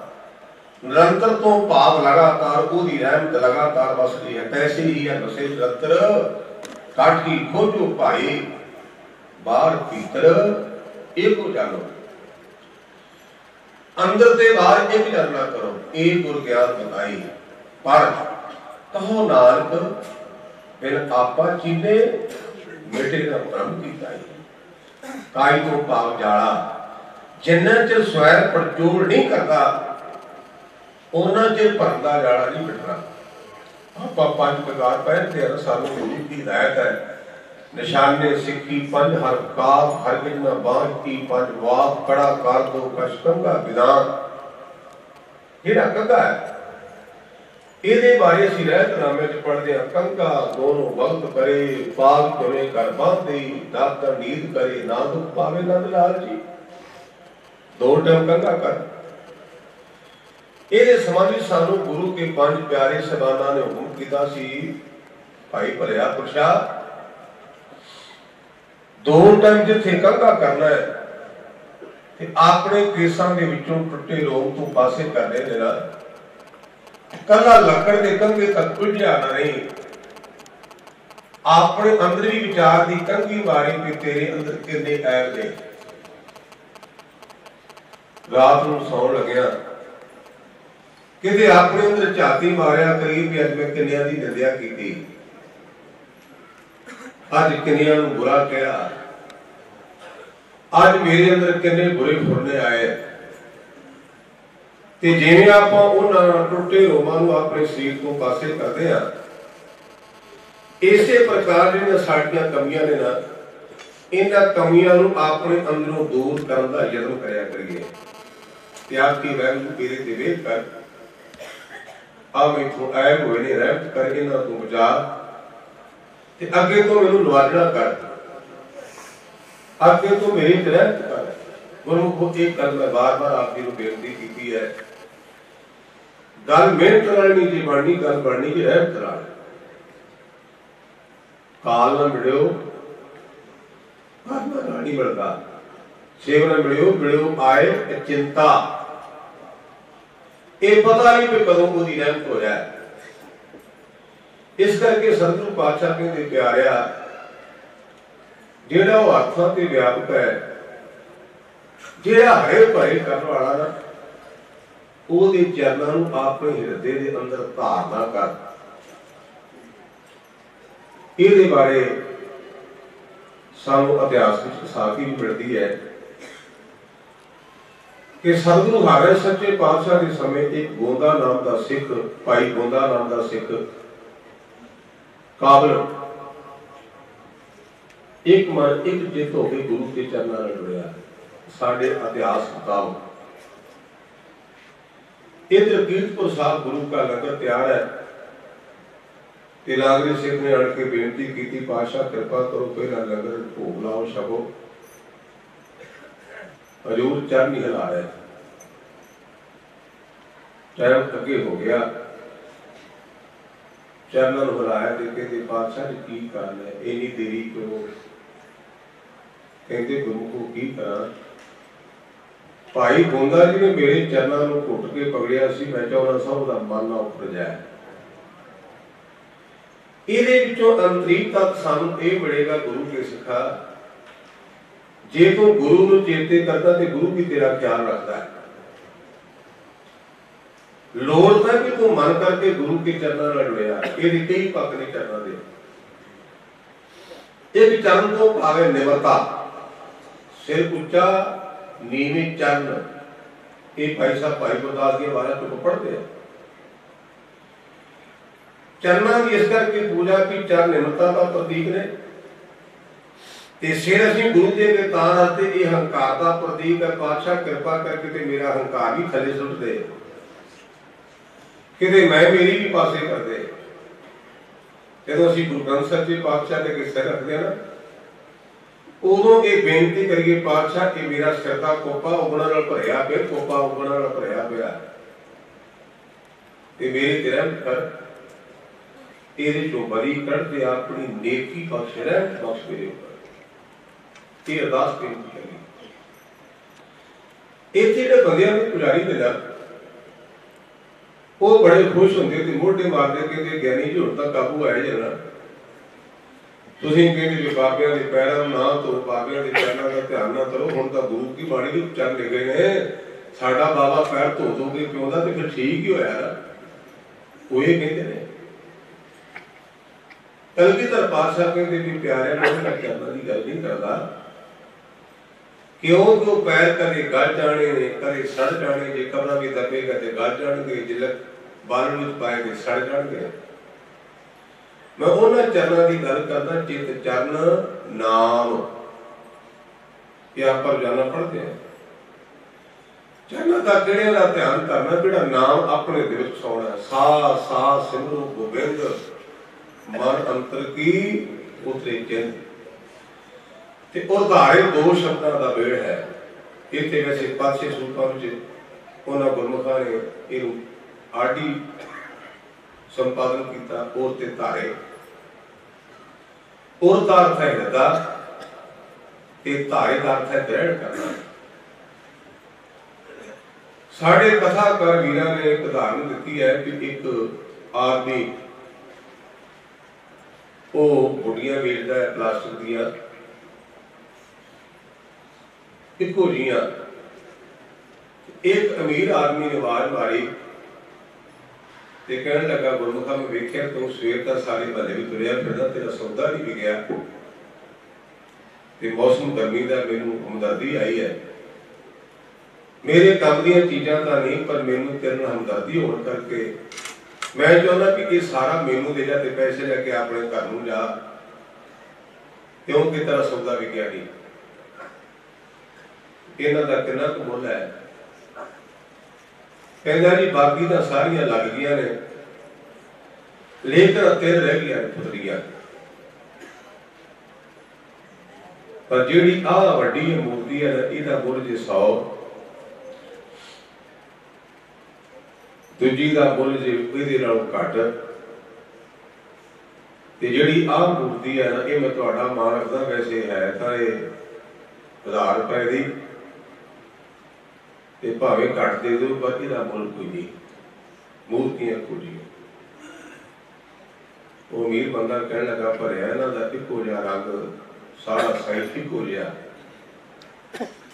ਤੇ ਇਹਨਾਂ ਕੀਮਤਾਂ ਦਾ ਫ਼ਰਕ ਇਹਨਾਂ ਕਿਉਂ? ਉਹਨੇ ਉਹਨੂੰ ਸਮਝਾਉਣ ਲਈ, ਆਪਣੇ ਕੋਲ ਗਾਹਕਾਂ ਨੂੰ ਸਮਝਾਉਣ ਵਾਸਤੇ ਤਾਰ ਰੱਖੀ ਸੀ। ਉਹਨੇ ਤਾਰ ਪਾਈ ਉਹਦੇ ਕੰਨ ਵਿੱਚ। ਦੂਜੇ ਪਾਸੇ ਨਿਕਲ ਗਈ ਮੂੰਹ ਥਾਣੀ ਤਾਰ ਪਾਈ ਤੇ ਕੰਨ ਥਾਣੀ ਨਿਕਲ ਗਈ ਜਿਹੜੀ ਮੂਰਤ ਸਭ ਤੋਂ ਵੱਧ ਮੁੱਲ ਸੀ ਉਹਦੀ ਉਹਨੇ ਆਪਣੀ ਕਲਾ ਵਿਖਾਈ ਵੀ ਜੇ ਕੰਨ ਵਾਲੇ ਪਾਸੇ ਪਾਉਂਦਾ ਤੇ ਤਾਂ ਵੀ ਅੱਗੇ ਨਿਕਲਦੀ ਨਹੀਂ, ਜੇ ਮੂੰਹ ਵਾਲੇ ਪਾਸੇ ਪਾਉਂਦਾ ਤੇ ਤਾਂ ਵੀ ਅੱਗੇ ਨਹੀਂ। ਉਹ ਕਹਿੰਦਾ, ਭਾਈ ਸਾਹਿਬ, ਜੀ ਪਹਿਲਾਂ ਮੁੱਲ ਤਾਂ ਆਮ ਹੈ। ਆਮ ਮੈਂ ਤੁਹਾਨੂੰ ਮੂਰਤੀ ਵਿਖਾਈ ਵੀ ਮੂੰਹ ਵਾਲੇ ਪਾਸੇ ਤੋਂ ਬੋਲਿਆ ਤੇ ਕੰਨ ਵਾਲੇ ਪਾਸੇ ਥਾਣੀ ਕੱਢ ਦਿੱਤਾ, ਕੰਨ ਥਾਣੀ ਸੁਣਿਆ ਤੇ ਮੂੰਹ ਥਾਣੀ ਕੱਢ ਦਿੱਤਾ। ਮੈਂ ਤਾਂ ਉਹ ਲਾਗਤ ਬੋਲ ਲਿਆ ਲੇਕਿਨ ਇਸ ਮੂਰਤੀ ਦਾ ਮੁੱਲ ਤਾਂ ਨਹੀਂ ਵੀ ਇਹਨੇ ਜੋ ਵੀ ਮਿਲਿਆ, ਇਹਨੇ ਆਪਣੇ ਅੰਦਰ ਗ੍ਰਹਿਣ ਕੀਤਾ ਹੈ। ਇਹ ਮੂਰਤੀ ਸਾਨੂੰ ਸਿੱਖਿਆ ਦਿੰਦੀ ਹੈ। ਇਸ ਪ੍ਰਕਾਰ ਉਤਾਰੇ ਤੋਂ ਭਾਵੇਂ ਕੋਈ ਗੁਰਮੁਖਾ ਸੁਣਦਾ ਤਾਂ ਬੜਾ ਕੁਝ ਹੈ ਤੂੰ। ਪਰ ਉਹਨੂੰ ਗ੍ਰਹਿਣ ਨਹੀਂ ਕਰਦਾ। ਉਹਦੇ ਤੋਂ ਤੂੰ ਪਹਿਰਾ ਨਹੀਂ ਦੇਣਾ ਸਤਿਗੁਰ ਪੰਚਮ ਪਾਤਸ਼ਾਹ ਕਹਿੰਦੇ, ਜਿਹੜਾ ਦੁੱਖਾਂ ਦਾ ਹਾਰ ਕਰੇ ਪਰੇ ਕਰਨ ਵਾਲਾ ਵੈਗਰੂ ਹੈ ਨਾ, ਉਹਦੇ ਉਪਦੇਸ਼ ਨੂੰ ਸਦੀਵੀ ਤੌਰ ਤੇ ਆਪਣੇ ਹਿਰਦੇ ਦੇ ਅੰਦਰ ਗ੍ਰਹਿਣ ਕਰਨਾ ਹੈ ਹੁਣ ਵੇਖੋ ਨਾ, ਗ੍ਰਹਿਣ ਕਰਨ ਦੀ ਗੱਲ। ਅਸੀਂ ਭਾਈ ਸਾਹਿਬ, ਭਾਈ ਗੁਰਦਾਸ ਜੀ, ਮਹਾਰਾਜ ਦੇ ਵਿੱਚ ਬਾਬੇ ਫਰੀਦ ਦੀ ਕਥਾ ਪੜ੍ਹਦੇ ਆ ਹੋਏ ਪ੍ਰਗਟ ਪਰਾਸੀ ਰਹਿੰਦਾ ਰਾਮਾ ਨਾਨਕ ਸਾਈ। ਅੰਮ੍ਰਿਤ ਵੇਲੇ ਉੱਠ ਕੇ ਜਾਂਦਾ ਨਾਮਨ ਗੰਗਾ ਤਾਈ। ਕਿ ਬਾਬਾ ਰਾਮਾਨੰਦ ਜੋ ਬਾਬਾ ਕਿੰਦਰ ਦੀ ਗੁਰਦੇਵ ਸਨ। ਉਹ ਗੰਗਾ ਤੇ ਇਸ਼ਨਾਨ ਕਰਨ ਜਾਂਦੇ ਸਮੇਂ ਦੇ ਪ੍ਰਭਾਵ ਕਰਕੇ ਬਾਬਾ ਕਬੀਰ ਉਹਨਾਂ ਕੋਲ ਨਾਮ ਦਾ ਲੈਣਾ ਚਾਹੁੰਦਾ, ਪਰ ਉਹ ਧਰਮ ਦੇ ਠੇਕੇਦਾਰ ਸੱਜੇ ਖੱਬੇ ਵਾਲੇ ਉਹ ਮੰਦਰ ਨਹੀਂ ਬਣ ਦਿੰਦੇ। ਤੇ ਬਾਬਾ ਕਬੀਰ ਜੀ ਨੇ ਪ੍ਰਣ ਕੀਤਾ ਕਿ ਮੈਂ ਨਾਮ ਦਾ ਲੈਣਾ ਲੈਣਾ ਨਾ ਉਹਨਾਂ ਨੇ ਜੁਗਤੀ ਵਰਤੀ ਵਿੱਚ ਇੱਥੇ ਰਾਮਾਨੰਦ ਇਸ਼ਨਾਨ ਕਰਨ ਜਾਂਦੇ ਸਨ ਪੌੜੀਆਂ ਤੇ ਜਾ ਕੇ ਲੰਮੇ ਪੈ ਗਏ। ਉਸ ਮੌਕੇ ਅੱਜ ਕੱਲ੍ਹ ਬਾਪੂ ਉਚਾਰਨ ਨਹੀਂ ਸੀ ਭਾਈ ਸਾਹਿਬ ਭਾਈ ਗੁਰਦਾਸ ਲਿਖਦੇ ਨੇ ਹੋਏ ਬਰਗਤ ਬਨਾਰਸੀ ਤਾਂ ਨਾਮਾ ਨਾਨਕ ਸਾਈ, ਅੰਮ੍ਰਿਤ ਵੇਲੇ ਉੱਠ ਕੇ ਜਾਂਦਾ ਨਾਵਣ ਗੰਗਾ ਤਾਈ, ਅੱਗੋਂ ਦੀ ਹੀ ਜਾਏ ਕੇ ਲੰਮਾ ਪਿਆ ਕਬੀਰ ਤਥਾਈ, ਪੈਰੀ ਟੁੰਬ ਅਠਾਲਿਆ, ਬੋਲੋ RAM ਸਿੱਖ ਸਮਝਾਈ RAM ਕਬੀਰੇ ਭੇਦ ਨ ਪਾਈ। ਇਹ ਪੌੜੀ ਸਾਨੂੰ ਵੇਖਣ ਨੂੰ ਸੁਭਾਵਿਕ ਜਾਪਦੀ ਪਰ ਇਹਦੇ ਅੰਦਰ ਬਹੁਤ ਡੂੰਘਾ ਤੱਥ ਹੈ। ਪਿਆਰਿਆ ਜੇ ਗੁਰੂ ਕੋਲ ਨਾਮ ਲੈਣਾ, ਤਾਂ ਨੀਵਾ ਹੋ ਕੇ ਡਾ ਨੀਵਾ ਹੋ ਕੇ। ਤਾਂ ਤਾਂ ਪੈਸਿਆਂ ਦੇ ਨਾਮ ਲੈਣਾ ਕਿਉਂ ਪੈਸਿਆਂ ਦੇ ਨਾਲ। ਆ ਗਿਆਨੀ ਜੀ ਜਿੰਨੇ ਪੱਕੇ ਨੇ, ਇਹ ਦਾਸ ਨੇ ਸੇਵਾ ਕੀਤੀ ਹੋ ਬੜੀ ਚੰਗੀ ਗੱਲ ਹੈ। ਪਰ ਜਿਹੜਾ ਤੂੰ ਬਚਾ ਕੇ ਰੱਖਿਆ ਨਾ, ਦਾਸ ਨੇ ਸੇਵਾ ਕੀਤੀ, ਇਹੋ ਲੈ ਡੁੱਬੇਗਾ ਮੇਰੇ ਸਾਥ ਸਾਥ ਗਿਆਨੀ ਕਰਤਾਰ ਸਿੰਘ ਜੀ ਖਾਲਸਾ ਸਾਨੂੰ ਪੜਾਉਂਦੇ ਹੁੰਦੇ ਸਨ। ਇੱਕ ਬੰਦਾ ਗੁਰਦੁਆਰੇ ਸਾਹਿਬ ਨੂੰ 10 ਲੱਖ ਰੁਪਈਆ ਭੇਟ ਕਰ ਦਿੰਦਾ ਹੈ। ਬਹੁਤ ਚੰਗੀ ਗੱਲ ਕੀਤੀ ਗੁਰੂ, ਹੋਰ ਉਹਦੇ ਤੇ ਕਿਰਪਾ ਕਰੇ, ਉਹਨੂੰ ਹੋਰ ਬਖਸ਼ੇ ਦੇਵੇ। ਪਰ ਕਹਿੰਦਾ, ਭਾਈ ਸਾਹਿਬ ਜੀ, ਮੈਂ 10 ਲੱਖ ਦਿੱਤਾ ਹੈ। 10 ਲੱਖ ਦਿੱਤਾ, ਪਰ ਮੈਂ ਤਾਂ ਨਾ ਦਿੱਤੀ। ਜਿੰਨਾ ਚਿਰ ਮੈਂ ਨਾ ਦਿੱਤੀ, ਉਹਨਾਂ ਚਿਰ ਬਾਤ ਨਹੀਂ ਪੜਦੀ ਮੈਂ ਮੈਂ। ਬਾਬਾ ਗੁਰੂ ਜੀ ਨਿਮਾਣੇ ਹੋ ਕੇ ਚਰਨਾਂ 'ਚ ਡਿੱਗੇ। ਪੌੜੀਆਂ 'ਚ ਪੈ, ਗੁਰੂ ਆਇਆ। ਤੇ ਗੁਰੂ ਨੇ ਇਹ ਨਹੀਂ ਆਖਿਆ ਕਿ ਕਾਕਾ ਮੇਰੀ ਫੋਟੋ ਲਾ ਕੇ ਤੇ ਆਪਣੇ ਘਰ ਟੰਗ ਲਈ। ਜਿਵੇਂ ਕਿ ਗੁਰੂਆਂ ਦੇ ਲਾਗ ਟੰਗ ਤੇ ਲੱਗ ਪਈ, ਜਿੰਨੇ ਵਿਗਦੇ ਨੇ ਚਲੋ ਨਹੀਂ ਸਹੀ ਕੁਝ ਪਰਸੈਂਟ ਤਾਂ ਸਹੀ ਦਾ। ਅਸਲੀ ਗੁਰੂ ਦੀ ਪਛਾਣ ਹੈ। ਉਸ ਅਸਲੀ ਗੁਰੂ ਨੇ ਆਖਿਆ, ਰਾਮ ਕੇ, ਰਾਮ ਕਹੋ ਬਾਬਾ ਫਰੀਦ ਜੀ ਦੇ ਨਾਲ ਬਾਬਾ ਰਮਨਾਥ, ਰਾਮਾਨੰਦ ਜੀ ਦੀ ਕੋਈ ਚਾਰ ਗੋਸ਼ਟੀ ਨਹੀਂ ਹੋਈ, ਕੋਈ ਲੰਬੀ ਚਰਚਾ ਨਹੀਂ ਹੋਈ। ਕੇਵਲ ਕਹਿੰਦਾ ਕਿਹਾ ਰਾਮ ਕੇ, ਰਾਮ ਕਹੋ ਰਾਮ ਦਾ ਬੰਦਾ ਤੇ ਰਾਮ ਨਾਲ ਜੁੜ। ਹਰ ਵਸਤੂ ਚਾਹੁੰਦੀ ਆਪਣੇ ਮੂਲ ਨਾਲ ਜੁੜਾ। ਆਪਾਂ ਗੁਰੂ ਨੂੰ ਅੱਗ ਬਾੜਦੇ ਆ ਨਾ। ਭਾਵੇਂ ਆਪਾਂ ਧੂਆਂ ਬਾੜ ਭਾਵੇਂ 50 ਬੜ ਬਾਲਣ ਹੋਵੇ, ਭਾਵੇਂ ਆਪਾਂ ਸਿਲੰਡਰ ਬਾਲਦੇ ਆ, ਭਾਵੇਂ ਚੁੱਲ੍ਹਾ ਬਾਲਦੇ ਆ, ਅੱਗ ਦੀ ਲਾੜ ਹਮੇਸ਼ਾ ਉੱਪਰ ਨੂੰ ਜਾਂਦੀ ਹੈ। ਉਹਦਾ ਕਾਰਨ ਉਸ ਅੱਗ ਦਾ ਮਰਕਜ਼ ਉਹਦਾ ਕੇਂਦਰੀ ਧੁਰਾ ਸੂਰਜ ਹੈ ਤੇ ਉਹਦਾ ਪਰਾਲਾ ਵੀ ਮੈਂ ਆਪਣੇ ਪਿਆਰੇ ਯਕੀਨ ਹੋ ਜਾ ਪਾਣੀ, ਆਪਾਂ ਮੰਜੇ ਤੇ ਬੈਠੇ ਰੋਟੀ ਖਾ ਰਹੇ ਹਾਂ, ਗਲਾਸ ਟੇਢਾ ਹੋ ਜਾਏ। ਪਹਾੜ ਤੋਂ ਪਾਣੀ ਰਿੜਦਾ ਹੁੰਦਾ ਪਰ ਪਾਣੀ ਨਵਾਣ ਨੂੰ ਜਾਂਦਾ ਹੈ, ਥੱਲੇ ਨੂੰ। ਕਿਉਂਕਿ ਪਾਣੀ ਦਾ ਕੇਂਦਰ ਸਮੁੰਦਰ ਹੈ ਔਰ ਉਹ ਨੀਵਾ ਹੈ। ਅਪਰਾਲਾ ਇਹ ਹੈ ਕਿ ਜੇ ਮੂਲ ਨਾਲ ਜੁੜ ਜਾਗੇ ਤਾਂ ਹੋਂਦ ਕਾਇਮ ਰਹੇਗੀ। ਜੇ ਮੂਲ ਨਾਲ ਟੁੱਟ ਗਏ ਤੇ ਹੋਂਦ ਕਾਇਮ ਨਹੀਂ ਰਹੇਗੀ। ਇਸ ਕਰਕੇ ਮੇਰੇ ਪਾਤਸ਼ਾਹ ਕਹਿੰਦੇ ਪਿਆਰਿਆ, ਜਿਹੜਾ ਪਰਿਪੂਰਨ ਪਰਮਾਤਮਾ ਦੁੱਖਾਂ ਦਾ ਹਰਕ ਹੈ, ਹਰੇ ਭਰੇ ਕਰਨ ਵਾਲਾ ਉਸ ਪਰਿਪੂਰਨ ਪਰਮਾਤਮਾ ਦੇ ਨਾਮ ਨੂੰ ਆਪਣੇ ਹਿਰਦੇ ਦੇ ਅੰਦਰ ਗ੍ਰਹਿਣ ਕਰ ਪ੍ਰਪੱਕ ਕਰ। ਹਰਸ਼ਿੰਦਰ ਗੁਰ ਸੁਆਮੀ ਸਤਿਗੁਰ ਆਪਣਾ। ਸੋ ਭਾਈ ਸੱਚਾ ਗੁਰੂ ਸਤਿਗੁਰੂ ਦੀ ਆਪਾਂ ਵਿਆਖਿਆ ਪੜਦੇ ਸਾਤ ਪੁਰਖ ਜਿਨ ਜਾਣਿਆ ਸਤਿਗੁਰ ਤਿਸ ਕਾ ਨਾਮ ਜਿਹਨੇ ਪਰਿਪੂਰਨ ਪ੍ਰਮਾਤਮਾ ਨੂੰ ਸਮਝ ਲਿਆ ਨਾ ਉਹਨੂੰ ਸਤਿਗੁਰੂ ਕਹਿਣਾ ਕਰੋ। ਅਸੀਂ ਆਪਣੇ ਗੁਰੂ ਸਬਾਨਾ ਦੇ ਕਦਰਦਾਨ ਨਹੀਂ ਸਾਡੇ ਸਤਿਗੁਰੂ ਪਾਤਸ਼ਾਹ ਨੇ ਸਾਨੂੰ ਪੈਰ ਪੈਰ ਘੜੀ ਘੜੀ ਥਾਂ ਥਾਂ ਤੇ ਉਸ ਪ੍ਰਮਾਤਮਾ ਨਾਲ ਜੋੜਿਆ। ਸਾਡੀ ਸ਼ਾਦੀ ਹੋਵੇ, ਸਾਡੇ ਗਮੀ ਹੋਵੇ, ਸਾਡੇ ਦੁੱਖ ਹੋਵੇ, ਮਾਂ, ਧੀ ਨੂੰ ਮਿਲੇ, ਪਿਓ, ਪੁੱਤ ਨੂੰ ਮਿਲੇ, ਭਰਾ ਭਰਾ ਨੂੰ ਮਿਲੇ। ਸਾਨੂੰ ਹਦਾਇਤ ਹੈ ਸਿਖਾ ਬੋਲ ਵਾਹਿਗੁਰੂ ਜੀ ਕਾ ਖਾਲਸਾ। ਵਾਹਿਗੁਰੂ ਜੀ ਮਿਲਿਆ ਭਰਾ ਨੂੰ ਹੈ। ਪਰ ਖਿਆਲ ਵਾਹਿਗੁਰੂ ਵਾਲੇ ਪਾਸੇ। ਮਿਲਿਆ ਮਾਂ ਨੂੰ ਖਿਆਲ ਵਾਹਿਗੁਰੂ ਵਾਲੇ ਪਾਸੇ। ਇਹ ਨਹੀਂ ਆਖਿਆ ਤੂੰ ਮੇਰਾ ਕਹਿੰਦੇ ਨਾ ਭਾਈ ਪੂਰਨ ਨਾਲ ਜੁੜ। ਵਾਹਿਗੁਰੂ ਨਾਲ ਜੁੜਨਾ ਕਰ। ਪਰ ਮੈਂ ਅੱਗੇ ਵੀ ਬੇਨਤੀ ਕਿਸੇ ਦੁੱਖ ਦੀ ਬਾਤ ਹੈ। ਆਪਾਂ ਮੂਲ ਦੇ ਨਾਲ ਟੁੱਟੀ ਜਾਣੇ ਜੇ ਗੁਫਾ ਫਤਿਹ ਬੁਲਾਉਂਦਾ ਤੇ ਪਾਸੇ ਕਹਿੰਦੇ ਪਿਸ਼ਾਬ ਕਿਤੂ ਜਾਪ ਜਾਪਦਾ ਨਿਹੰਗ ਜਾਪਦਾ ਨਿਹੰਗ ਜੇ ਕੋਈ ਪੜਿਆ ਲਿਖਿਆ ਬੋਲਦਾ ਤੇ ਕਹਿੰਦੇ ਪੜਾਇਆ ਤਾਂ ਬੜਾ ਸੀ ਮਾਂ ਪਿਓ ਨੇ। ਪਰ ਅਜੇ ਵੀ ਫਤਿਹ ਫਤਿਹ ਬੁਲਾਈ ਜਾਂਦਾ, ਭਰਿਆ ਜੀਵਨ ਦੀ ਬਾਰੀ ਜਿੱਤ ਕੇ ਚੱਲਿਆ ਹੀ ਜਿਹਦੇ ਤੇ ਦੁਨਿਆਵੀ ਵਿਦਿਆ ਦਾ ਅਸਰ ਨਹੀਂ ਹੋਇਆ ਤੇ ਮੂਲ ਨਾਲ ਟੁੱਟਾ ਨਹੀਂ, ਉਹਨੂੰ ਮਾੜਾ ਨਾ ਕਹੋ। ਮਾੜਾ ਨਾ ਕਹੋ। ਮੇਰੇ ਪਾਤਸ਼ਾਹ ਕਹਿੰਦੇ ਬੜਾ ਸਵਾਮੀ ਬਾਲਕ ਹੈ ਜਿਹੜਾ ਸਤ ਸਰੂਪ ਹੈ, ਉਹਨੂੰ ਆਪਣਾ ਜਾਣ ਕੇ ਚੇਤੇ ਰੱਖ ਚੀਤੇ ਬਾਬਾ ਨਾਮਦੇਵ ਜੀ ਨੇ ਬੜੀਆਂ ਜੁਗਤੀਆਂ ਦੱਸੀਆਂ ਨੇ। ਆਨੇ ਨੇ ਕਾਗਦ ਕਾਟੀ ਦੇ ਬੂਟੀ ਆਕਾਸ਼ ਮਤੇ ਭੈਵੀ ਵਾਲੇ। ਪੰਜ ਜਨਾ ਸੋ ਬਾਪ ਬਦਵਾ ਦੋਰੀ ਆਖੀ ਵਾਲੇ ਮਨ ਰਾਮ ਨਾਮਾ ਬੇਤੀ ਵਾਲੇ, ਜੈਸੇ ਕਰਨ ਕਰਾ ਚਿਤ ਵਾਲੇ। ਬਾਬਾ ਨਾਮਦੇਵ ਕਹਿੰਦੇ ਵੇਖ ਲਾ ਭਰਿਆ ਨਿੱਕੇ ਨਿੱਕੇ ਬੱਚੇ। ਪਤੰਗਾਂ ਉਡਾਉਂਦੇ ਨੇ ਪਤੰਗਾਂ ਉਡਾਉਂਦਿਆਂ ਹੋਇਆ ਮਾਂ ਨੂੰ ਕਹਿੰਦੇ, ਮਾਂ, ਮੈਨੂੰ ਚਾਹ ਬਣਾ ਦੇ। ਬੇਬੇ, ਮੈਂ ਰੋਟੀ ਨਹੀਂ ਖਾਣੀ। ਤੇ ਨਾਲ ਦੇ ਗੁਆਂਢੀ ਕਾਕੇ ਨੂੰ ਕਹਿੰਦੇ ਵੀ, ਬੁੱਢੀ, ਵਜਾ, ਅੱਜ ਮੈਂ ਭੋਗ ਕਰਦੇ ਨਹੀਂ ਤੇਰੀ ਬੁੱਢੀ ਪੇਚਾ ਪਾਉਣਾ ਪਾ ਮਾਂ ਵੀ ਗੱਲਾਂ ਕਰਦਾ ਹੈ। ਆਪਣੇ ਪੜੋਸੀ ਮਿੱਤਰ ਨਾਲ ਵੀ ਗੱਲਾਂ ਕਰਦਾ, ਪਰ ਉਹਦਾ ਖਿਆਲ ਬੁੱਢੀ ਵਾਲੇ ਪਾਸੇ ਤੇ ਪਤੰਗ ਬੋਲ ਨਾ ਹੋ ਜਾਏ। ਜਿਹੜਾ ਸੁਨਿਆਰਾ ਉਹਦੇ ਕੋਲ ਵੱਖ ਵੱਖ ਗਾਹਕ ਆਏ, ਉਹ ਸੋਨੇ ਦੀ ਚਿੱਤਰਕਾਰੀ ਕਰ ਰਿਹਾ ਆਪਣਾ ਨਿਯਮ ਦੇ ਮੁਤਾਬਕ। ਗਾਹਕਾਂ ਨਾਲ ਗੱਲਾਂ ਤਾਂ ਕਰੀ ਜਾਂਦਾ, ਪਰ ਖਿਆਲ ਉਹਦਾ ਸੋਨੇ ਵਾਲੇ ਪਾਸੇ ਹੈ। ਅਸੀਂ ਭਾਈ ਸਾਹਿਬ ਦੀ ਬੋਲੀ ਪੜ੍ਹਦੇ ਆ ਕੱਛੂ, ਫਿਰ ਆਪਣਾ ਸਵਾਲ ਕਰਦੇ ਨਹੀਂ ਇਹਦਾ ਫਾਇਦਾ ਕੀ ਹੁੰਦਾ ਹੈ? ਇਹਨੇ ਇੱਕ ਹੀ ਗੱਲ ਕਹੀ ਜਾਣੀ, ਵਾਹਿਗੁਰੂ ਵਾਹਿਗੁਰੂ ਵਾਹਿਗੁਰੂ ਕਹੀ ਜਾਣਾ, ਕੀ ਮਿਲਦਾ ਇਹਦੇ ਨਾਲ?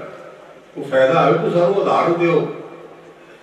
ਤੇ ਭਾਈ ਜੀ ਨੇ ਉਦਾਹਰਨਾਂ ਦੇ ਅੰਬਾਰ ਲਾ ਦਿੱਤੇ ਕਹਿੰਦੇ, ਕੱਛੂ ਆਂਡਾ ਧਿਆਨ ਕਰ ਕਰ ਪ੍ਰਪਾਤ ਨਦੀ ਵਿੱਚ ਆਣੇ ਊਂ ਜਿਹੜੇ ਸਿਮਰਨ ਕਰੇ, ਲੈ ਬੱਚਾ ਹੁਣ ਕੀ ਜਿਹੜਾ ਕੱਛੂ ਕੁਮਾ ਉਹ ਬ੍ਰੇਤੀ ਵਿੱਚ ਆਪਣੇ ਆਂਡੇ ਦਿੰਦੇ ਨੇ, ਬ੍ਰੇਤੀ 'ਚ। ਔਰ ਸਮੇਂ ਦੇ ਮੁਤਾਬਕ ਜਦੋਂ ਉਹਨਾਂ ਆਂਡਿਆਂ ਚੋਂ ਬੱਚੇ ਨਿਕਲਦੇ ਨੇ ਨਾ, ਤਾਂ ਆਪਣੀ ਮਾਂ ਵਾਲੇ ਪਾਸੇ ਵੱਲ ਚਲੇ ਜਾਂਦੇ ਨੇ। ਤੇ ਇਹ ਵੀ ਸੁਣਿਆ ਕਿ ਜਿਹੜਾ ਆਂਡਾ ਉਸ ਮਾਂ ਦੀ ਸੁਦਾ ਤੋਂ ਪਾਸੇ ਹੋ ਜਾਏ, ਉਹ ਆਂਡਾ ਖਰਾਬ ਹੋ ਜਾਂਦਾ ਹੈ। ਜਿਹੜੀਆਂ ਪੂੰਜਾਂ ਹਨ, ਜਿਵੇਂ ਆਪਣੇ ਹੁਸ਼ਿਆਰਪੁਰ ਦਾ ਇਲਾਕੇ ਨੂੰ ਨੀਮ ਪਹਾੜੀ ਲੱਗ ਕਹਿੰਦੇ ਨੇ, ਕਹਿੰਦੇ ਕਿ ਇਹਨਾਂ ਪਹਾੜਾਂ ਦੇ ਵਿੱਚ ਉਹ ਪੂੰਜਾਂ ਆਪਣੇ ਬੱਚਿਆਂ ਨੂੰ, ਆਂਡਿਆਂ ਨੂੰ ਦੇ ਕੇ ਉੜ ਜਾਂਦੀਆਂ ਹਨ। ਜਿਵੇਂ ਰਹਿ ਸਾਰ ਪੜਦੇ ਨੇ ਕੂੜੇ ਕੂੜ ਆਵੇ ਸੈ ਤੇ ਸਪਾਸ਼ੀ ਬਜਰੀ ਸ਼ਰਿਆ ਤੇ ਕੌਣ ਖਲਾਵੇ ਕੌਣ ਚੁਗਾਵੇ, ਮਨ ਸਿਮਨ ਕਰਿਆ ਦਸ ਪਿਓ ਪਿੱਛੇ ਆਂਡੇ ਰਹਿ ਗਏ। ਉਹਨਾਂ ਦੀ ਪਰਵਰਿਸ਼ ਕੌਣ ਕਰੇਗਾ? ਉਹਨਾਂ ਦੀ ਰਾਖੀ ਕੌਣ ਕਰੇਗਾ? ਆਂਡੇ ਪਿੱਛੇ ਨੇ। ਕੂਰ ਸੈਂਕੜੇ ਕੋ ਚਰੀ ਵੀ ਲੇਕਿਨ ਕੂਰ ਦੇ ਸਿਮਰਨ ਕਰਕੇ ਉਹਨਾਂ ਆਂਡਿਆਂ ਦੇ ਵਿੱਚੋਂ ਬੱਚੇ ਨਿਕਲ ਆਏ ਕੋਈ ਖਤਰਾ ਨਹੀਂ। ਸਿਮਰਨ ਵਿੱਚ ਇੰਨੀ ਤਾਕਤ ਹੈ। ਕੂਰ ਭਾਵੇਂ ਸਾਡੀ ਭਾਸ਼ਾ ਵਿੱਚ ਬੋਲ ਨਹੀਂ ਸਕਦੀ ਲੇਕਿਨ ਉਹਦੀ ਕੋਲ ਸਿਮਰਨ ਦੀ ਵੱਡੀ ਦਾਤ ਹੈ ਪਰਮਾਤਮਾ ਨੇ ਦਿੱਤੀ। ਜਿਹੜਾ ਕੱਚੂ ਕੋਮਾ ਲੈਕਚਰ ਨਹੀਂ ਕਰ ਸਕਦਾ ਲੇਕਿਨ ਉਹਦੀ ਇਕਾਗਰਤਾ ਇੱਕ ਨੰਬਰ ਹੈ, ਔਰ ਉਹਦੇ ਬੱਚੇ ਵੀ ਸਖਤ ਹੋ ਗਏ। ਉਹ ਭਲਿਆ ਤੂੰ ਇਨਸਾਨ ਹੈ, ਬੰਦਾ ਹੈ। ਉਹਨਾਂ ਜਨਵਰਾਂ ਵਿੱਚ ਇਹ ਨਹੀਂ ਸਿਮਰਨ ਦੀ ਦਿਲ ਤੱਕ ਮਨੁੱਖ ਹੋ ਕੇ ਸਿਮਰਨ ਕਿਉਂ ਨਹੀਂ ਕਰਦਾ? ਸਿਮਰ ਸੁਆਮੀ ਸਰਬ ਆਪਣਾ। ਸਾਡੇ ਘਰ ਵਿੱਚ ਆਪਾਂ ਸਾਰੇ ਪੜ੍ਹਦੇ ਆ ਕਿ ਬਸ ਬਾਬਾ ਵੀ ਨਹੀਂ ਚਾਹਦੇ ਦੇ ਨਾਲ ਕੇ ਨਗਰ ਸਿਹਾੜੀ ਪਿੰਡ ਹੈ, ਜਦੋਂ ਆਪ ਭਾਈ ਕਰਨ ਜਾਂਦੇ ਆ। ਪਿੰਡ ਇਹਨਾਂ ਦਾ ਬਾਰਡਰ ਤੇ ਸ਼ੀ ਲਾ ਕੇ ਸ਼ੀਨਾ ਪਿੰਡ ਸੀ। ਨਾਨਕਾ ਦੀ ਸਰਦ ਕਰਕੇ ਚੋਰੀ ਵਾਲੇ ਪਾਸੇ ਵੱਲ ਖਿਆਲ ਹੋ ਗਿਆ। ਗੁਰੂ ਰਹਿਮਤ ਕੀਤੀ ਮੋੜ ਕਟਿਆ ਗਿਆ। ਤੇ ਜਿਸ ਮੌਕੇ ਬਾਬਾ ਬਿਧੀ ਚੰਦ ਨੇ ਰਿਸ਼ਾਲੇ ਲੈ ਉਹਨਾਂ ਬੇਗਮਾਂ ਦੇ ਕੋਲੋਂ ਜਿਹੜਾ ਸਿੱਖ ਲੈ ਕੇ ਆਇਆ ਸੀ। ਤੇ ਸਿਨਾੜੀ ਤੇ ਪੱਟੀ ਲਾਗੇ ਲਾਗੇ ਨੇ। ਪ੍ਰੇਮ ਪੈ ਗਿਆ ਕਿ ਹੋਰ ਨਾਲ। ਬਾਬਾ ਬਿਧੀ ਚੰਦ ਜੀ ਉਹਨਾਂ ਦਿਸ਼ਾਲੇ ਨੂੰ ਲੈ ਕੇ ਜੀ ਪਿਆਰੇ ਸੱਜੇ ਖੱਬੇ ਜਾਂਦੇ ਜਿਹੜੇ ਪਾਸੇ ਨੂੰ ਅੱਜ ਕੱਲ੍ਹ ਰੈੱਡ ਅਲਰਟ ਕਹਿੰਦੇ ਨੇ, ਉਹ ਹੋ ਗਿਆ। ਆਪਣੇ ਮਿੱਤਰ ਝੋਰ ਨੂੰ ਕਹਿੰਦੇ ਕਿ ਮਿੱਤਰਾ ਮੇਰੀ ਮਦਦ ਕਰ। ਉਹ ਝੋਰ ਕਰਨ ਲੱਗਾ ਬਿਧੀ ਚੰਦਾ ਤੂੰ ਤਾਂ ਕਹਿੰਦਾ ਮੇਰਾ ਗੁਰੂ ਬੜਾ ਸਮਰੱਥ ਹੈ। ਤੇਰੀ ਜਿਹੜੀ ਤੇ ਦਾਸੀ ਆ ਮੇਰਾ ਪੜ ਸਕਦਾ ਹੈ ਇਹਨੂੰ ਪਤਾ ਵੀ ਭਗਵਾਨ ਨੇ ਬਲਦੀ ਅੱਗ ਦੇ ਵਿੱਚੋਂ ਪ੍ਰਲਾਦ ਨੂੰ ਰੱਖਿਆ। ਸੰਤ ਬਾਬਾ ਬਸੂਮਾ ਪੁਰਸ਼ਾ ਬਾਰੇ ਮੈਂ ਸੁਣਿਆ ਹੈ ਕਿ ਜਦੋਂ ਉਹ ਆਪਣਾ ਕੀਰਤਨ ਵਿਖਿਆਨ ਕਰਦੇ ਹੁੰਦੇ ਸਨ, ਤੇ ਉਹਨਾਂ ਨੇ ਇਹ ਧਾਰਨਾ ਲਾਉਣੀ ਕੀੜੀ ਨਾਲ ਵਰਤੋਂ ਨਾਮਾ ਪ੍ਰਲਾਦ ਜੋਰ ਜਾਂਦਾ।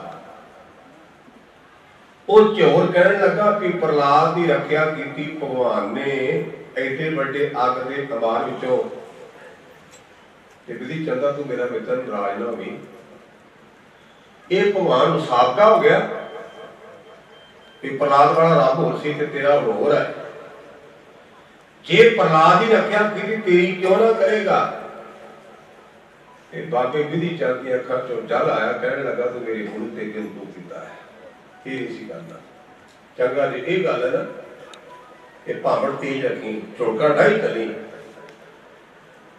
ਤੇ ਬਾਬਾ ਵੀ ਚੰਦ ਨਿਸ਼ਾਨੇ ਲੈ ਉਹ ਪੱਟ ਅੱਜ ਵੀ ਕਾਇਮ ਹੈ ਤੇ ਨਾਲ ਸ਼ਬਦ ਪੜਿਆ ਸੀ, ਬਲਾਵਲ ਮਹੱਲਾ ਪੰਜਵਾ ਤਾਤੀ ਬਾਵਰ ਲਗਈ ਪਾਰ ਪ੍ਰਭ ਸਰਨਾਈ ਚੌਗਿਰਤ ਹਮਾਰੇ RAM ਕਾ ਦੁਖ ਲਗੇ ਨਾ ਭਾਈ। ਸਤਿਗੁਰ ਪੂਰਾ ਭੇਟਿਆ, ਜਿਨ ਬਣਤ ਬਣਾਈ, ਤੇ ਗੁਰੂ ਨੇ ਦਿੱਤਾ ਕਿ? RAM ਨਾਮ ਔਖ ਦਿਆ ਏਕਾ ਨਿਵਲਾਈ। ਕਹੋ ਨਾਨਕ ਕਿਰਪਾ ਭਈ ਪ੍ਰਪੈ ਸਹਾਈ। ਲੋੜ ਤਾਂ ਪੂਰਨ ਗੁਰੂ ਦੇ ਬਲਾਪ ਦੀ ਹੈ ਭੇਟਿਆ ਤੋਂ ਖਾ ਬਲਾਪ ਹੋਣਾ ਮਨ ਕਰ ਕੀ ਡੁੱਲਣਾ, ਤੇ ਮੇਰੇ ਪਾਤਸ਼ਾਹ ਕਹਿੰਦੇ ਗੁਰਮੁਖਾੜਾ ਸੰਗੁਰ ਇਹਨੂੰ ਉਪਰਾ ਕਰਕੇ ਨਹੀਂ, ਆਪਾਂ ਵੀ ਸ਼ਬਦ ਪੜ੍ਹਦੇ, ਆਪਣਾ ਗੁਰੂ ਧਿਆਏ ਬਿਲ ਕੁਸਲ ਸੇਤੀ ਕਰ ਆਏ ਜਿਨ੍ਹਾਂ ਨੇ ਆਪਣੇ ਗੁਰੂ ਦਾ ਧਿਆਨ ਕੀਤਾ, ਉਹ ਸੁਖ ਸਾਂਤਣ ਦੀ ਗੱਲ ਆਪਣੇ ਸਰੂਪ ਰੂਪੀ ਘਰ ਵਿੱਚ ਆ ਗਏ। ਸਿਮਰ ਸੁਆਮੀ ਸਤਿਗੁਰ ਆਪਣਾ। ਸਤਿਗੁਰੂ ਪਾਤਸ਼ਾਹ ਮਹਾਰਾਜ ਨੂੰ ਆਪਣਾ ਜਾਣ ਕੇ ਉਹਨਾਂ ਦਾ ਸਿਮਰਨ ਕਰ, ਕੀਰਤਨ ਕਰਨਾ ਕਰ। ਕਾਜ ਸਫਲ ਹਮਾਰੇ। ਇੱਥੇ ਨਾਲ ਗੁਰਦੇਵ ਨੇ ਇਹ ਕਿਹਾ ਜਿਵੇਂ ਮੁਸਲਮਾਨ ਇਸਲਾਮ ਦੇ ਵਿੱਚ ਮੁਸਲਮਾਨ ਭਰਾ ਦੋ ਤਰ੍ਹਾਂ ਦੀ ਦੁਆ ਕਰਦੇ ਨੇ। ਦੋ ਤਰ੍ਹਾਂ ਦੀ, ਇੱਕ ਜਾਤੀ, ਦੂਜਾ ਜਮਾਤੀ। ਜਿਵੇਂ ਜੁਮੇ ਵਾਲੇ ਨੇ ਸਾਰੇ ਇਕੱਠੀ ਹੋ ਕੇ ਦੁਆ ਕਰਦੇ ਨੇ ਅੱਲਾਹ ਤਾਲਾ ਦੇ ਕੇ, ਉਹਨੂੰ ਕਹਿੰਦੇ ਨੇ ਜਮਾਤੀ ਦੁਆ। ਤੇ ਜਦੋਂ ਉਹ ਕੱਲੇ ਦਖਲੇ ਕਿਤੇ ਅਰਦਾਸ ਬੇਨਤੀ ਕਰਦੇ ਨੇ, ਉਹਨਾਂ ਦੇ ਧਰਮ ਦੇ ਮੁਤਾਬਕ, ਢੰਗ ਮੁਤਾਬਕ ਉਹਨੂੰ ਕਹਿੰਦੇ ਜਾਤੀ। ਇਸੇ ਤਰ੍ਹਾਂ ਵੀ ਗੁਰਮੁਖੋ ਆਪਾਂ ਨੂੰ ਰਹਿਤ ਮਰਿਆਦਾ ਪੜ੍ਹਦੇ ਆ ਨਾ, ਤੇ ਉੱਥੇ ਲਿਖਿਆ ਪੰਥਕ ਅਰਦਾਸ ਤੇ ਨਿੱਜੀ ਅਰਦਾਸ। ਜਿਵੇਂ ਆਪ ਜੀ ਨੇ ਸਵੇਰੇ ਸਿਮਰਨ ਅਭਿਆਸ ਕੀਤਾ। ਹੈ ਤੇ ਬਾਬਾ ਜੀ ਨੇ ਸਾਰਿਆਂ ਨੇ ਅਰਦਾਸ ਕੀਤੀ। ਹੁਣ ਸਮਾਪਤੀ ਦੇ ਮੌਕੇ ਫਿਰ ਗੁਰਮੁਖ ਅਰਦਾਸ ਕਰਨੀ ਹੈ ਕਹਿੰਦੇ ਨੇ ਪੰਥਕ ਅਰਦਾਸ। ਤੇ ਜਿਹੜੀਆਂ ਆਪਾਂ ਆਪਣੇ ਵਾਸਤੇ ਅਰਦਾਸਾਂ ਕਰਦੇ ਉਹਨੂੰ ਕਹਿੰਦੇ ਜਾਤੀ ਅਰਦਾਸ। ਇਸ ਪੰਥ ਦਾ ਭਾਵ ਹੈ ਕਿ ਗੁਰਮੁਖਾ ਇੱਕ ਹੋ ਕੇ ਸਾਰੇ ਨੂੰ ਅਰਦਾਸ ਕਰ, ਜਮਾਤੀ ਅਰਦਾਸ ਕਰ। ਜਮਾਤੀ ਪੰਥਕ। ਜਿਵੇਂ ਆਪਾਂ ਕਿਸੇ ਮੌਕੇ ਬਰਕ ਹੋ ਜਾਂਦੀ ਹੈ ਨਾ, ਤੇ ਬਹੁਤ ਇਕੱਠ ਹੁੰਦਾ ਤੇ ਕਈ ਬੰਦੇ ਕਹਿੰਦੇ ਨੇ ਵੇਖੋ ਇਹਨਾਂ ਲੋਕਾਂ ਨੂੰ ਵਿਖਾਉਣ ਕਿੱਡਾ ਵੱਡਾ ਇਕੱਠ ਕੀਤਾ ਭਲਾ ਨੇ ਕਣਕ ਵੱਢਣੀ ਸਾਡੀ ਆਪ ਪਿੰਡ ਕੋਲ ਤੇ ਕਣਕ ਵੱਢਣੀ ਐਵੇਂ ਲੋਕਾਂ ਨੂੰ ਵਿਖਾਉਂਦੇ ਉਹਦੇ ਮਗਰ ਇੱਕ ਅਨਰੈਕ ਇਨਰੈਕਟ ਮਤਲਬ ਹੈ ਇਹ ਵੱਖਰੀ ਗੱਲ ਕਿ ਆਪਾਂ ਸਫਲ ਹੋਈਏ ਜਾਂ ਨਾ ਹੋਈਏ। ਉਹਦੇ ਪਿੱਛੇ ਭਾਵ ਹੈ ਕਿ ਬਿਰਥੀ ਕਦੇ ਨਾ ਹੋਵੇ ਜਨ ਕੀ ਅਰਦਾਸ ਕੀ ਪਤਾ ਉਹਨਾਂ 400 ਬੰਦਿਆਂ ਚ ਕੋਈ ਇਹੋ ਜਿਹਾ ਗੁਰਮੁਖ ਪਿਆਰਾ ਆ ਜਾਏ ਜਿਹੜਾ ਅੰਦਰੋਂ ਅਰਦਾਸ ਕਰਦੇ ਸਾਡਾ ਕਾਰਜ ਹੋਵੇ ਸਾਡੇ ਮਾਤਾ ਜੀ, ਸਾਡੇ ਪਿਤਾ ਜੀ ਚਗਾੜੇ ਲੱਗ ਜਾਣ। ਇਹ ਨਹੀਂ ਕਿ ਸਾਰੇ ਕੋਈ ਹੋਣਗੇ। ਕੋਈ ਜੁੜੀ ਹੋਈ ਆਤਮਾ ਉਹਦੇ ਵਿੱਚ ਆ ਜਾਏ। ਉਹ ਜੁੜੀ ਹੋਈ ਆਤਮਾ ਦੀ ਜਿਹੜੀ ਅਰਦਾਸ ਗੁਰਮੁਖ ਤੋਂ ਤੱਕ ਜਾਂਦੀ ਹੈ ਤੁਰ ਤੱਕ। ਤੇ ਬਾਕੀ ਅਰਦਾਸ ਦਾ ਕੋਈ ਟਾਈਮ ਨਹੀਂ, ਕੋਈ ਜਗ੍ਹਾ ਨਹੀਂ। ਪਤਾ ਨਹੀਂ ਕਦੋਂ ਕਰ ਪੜ ਜਾਏ। ਮੈਂ ਇੱਕ ਇਸਲਾਮ ਦੀ ਗ੍ਰੰਥ ਪੜਿਆ ਉਹ ਤੇ ਬੀਬੀ ਦਾ ਜ਼ਿਕਰ ਆਇਆ ਸੀ, ਉਹਦਾ ਨਾਮ ਸੀ ਆਪ ਔਰ ਉਹ ਧੰਦੇ ਕਰਕੇ ਵੇਸਵਾ ਸੀ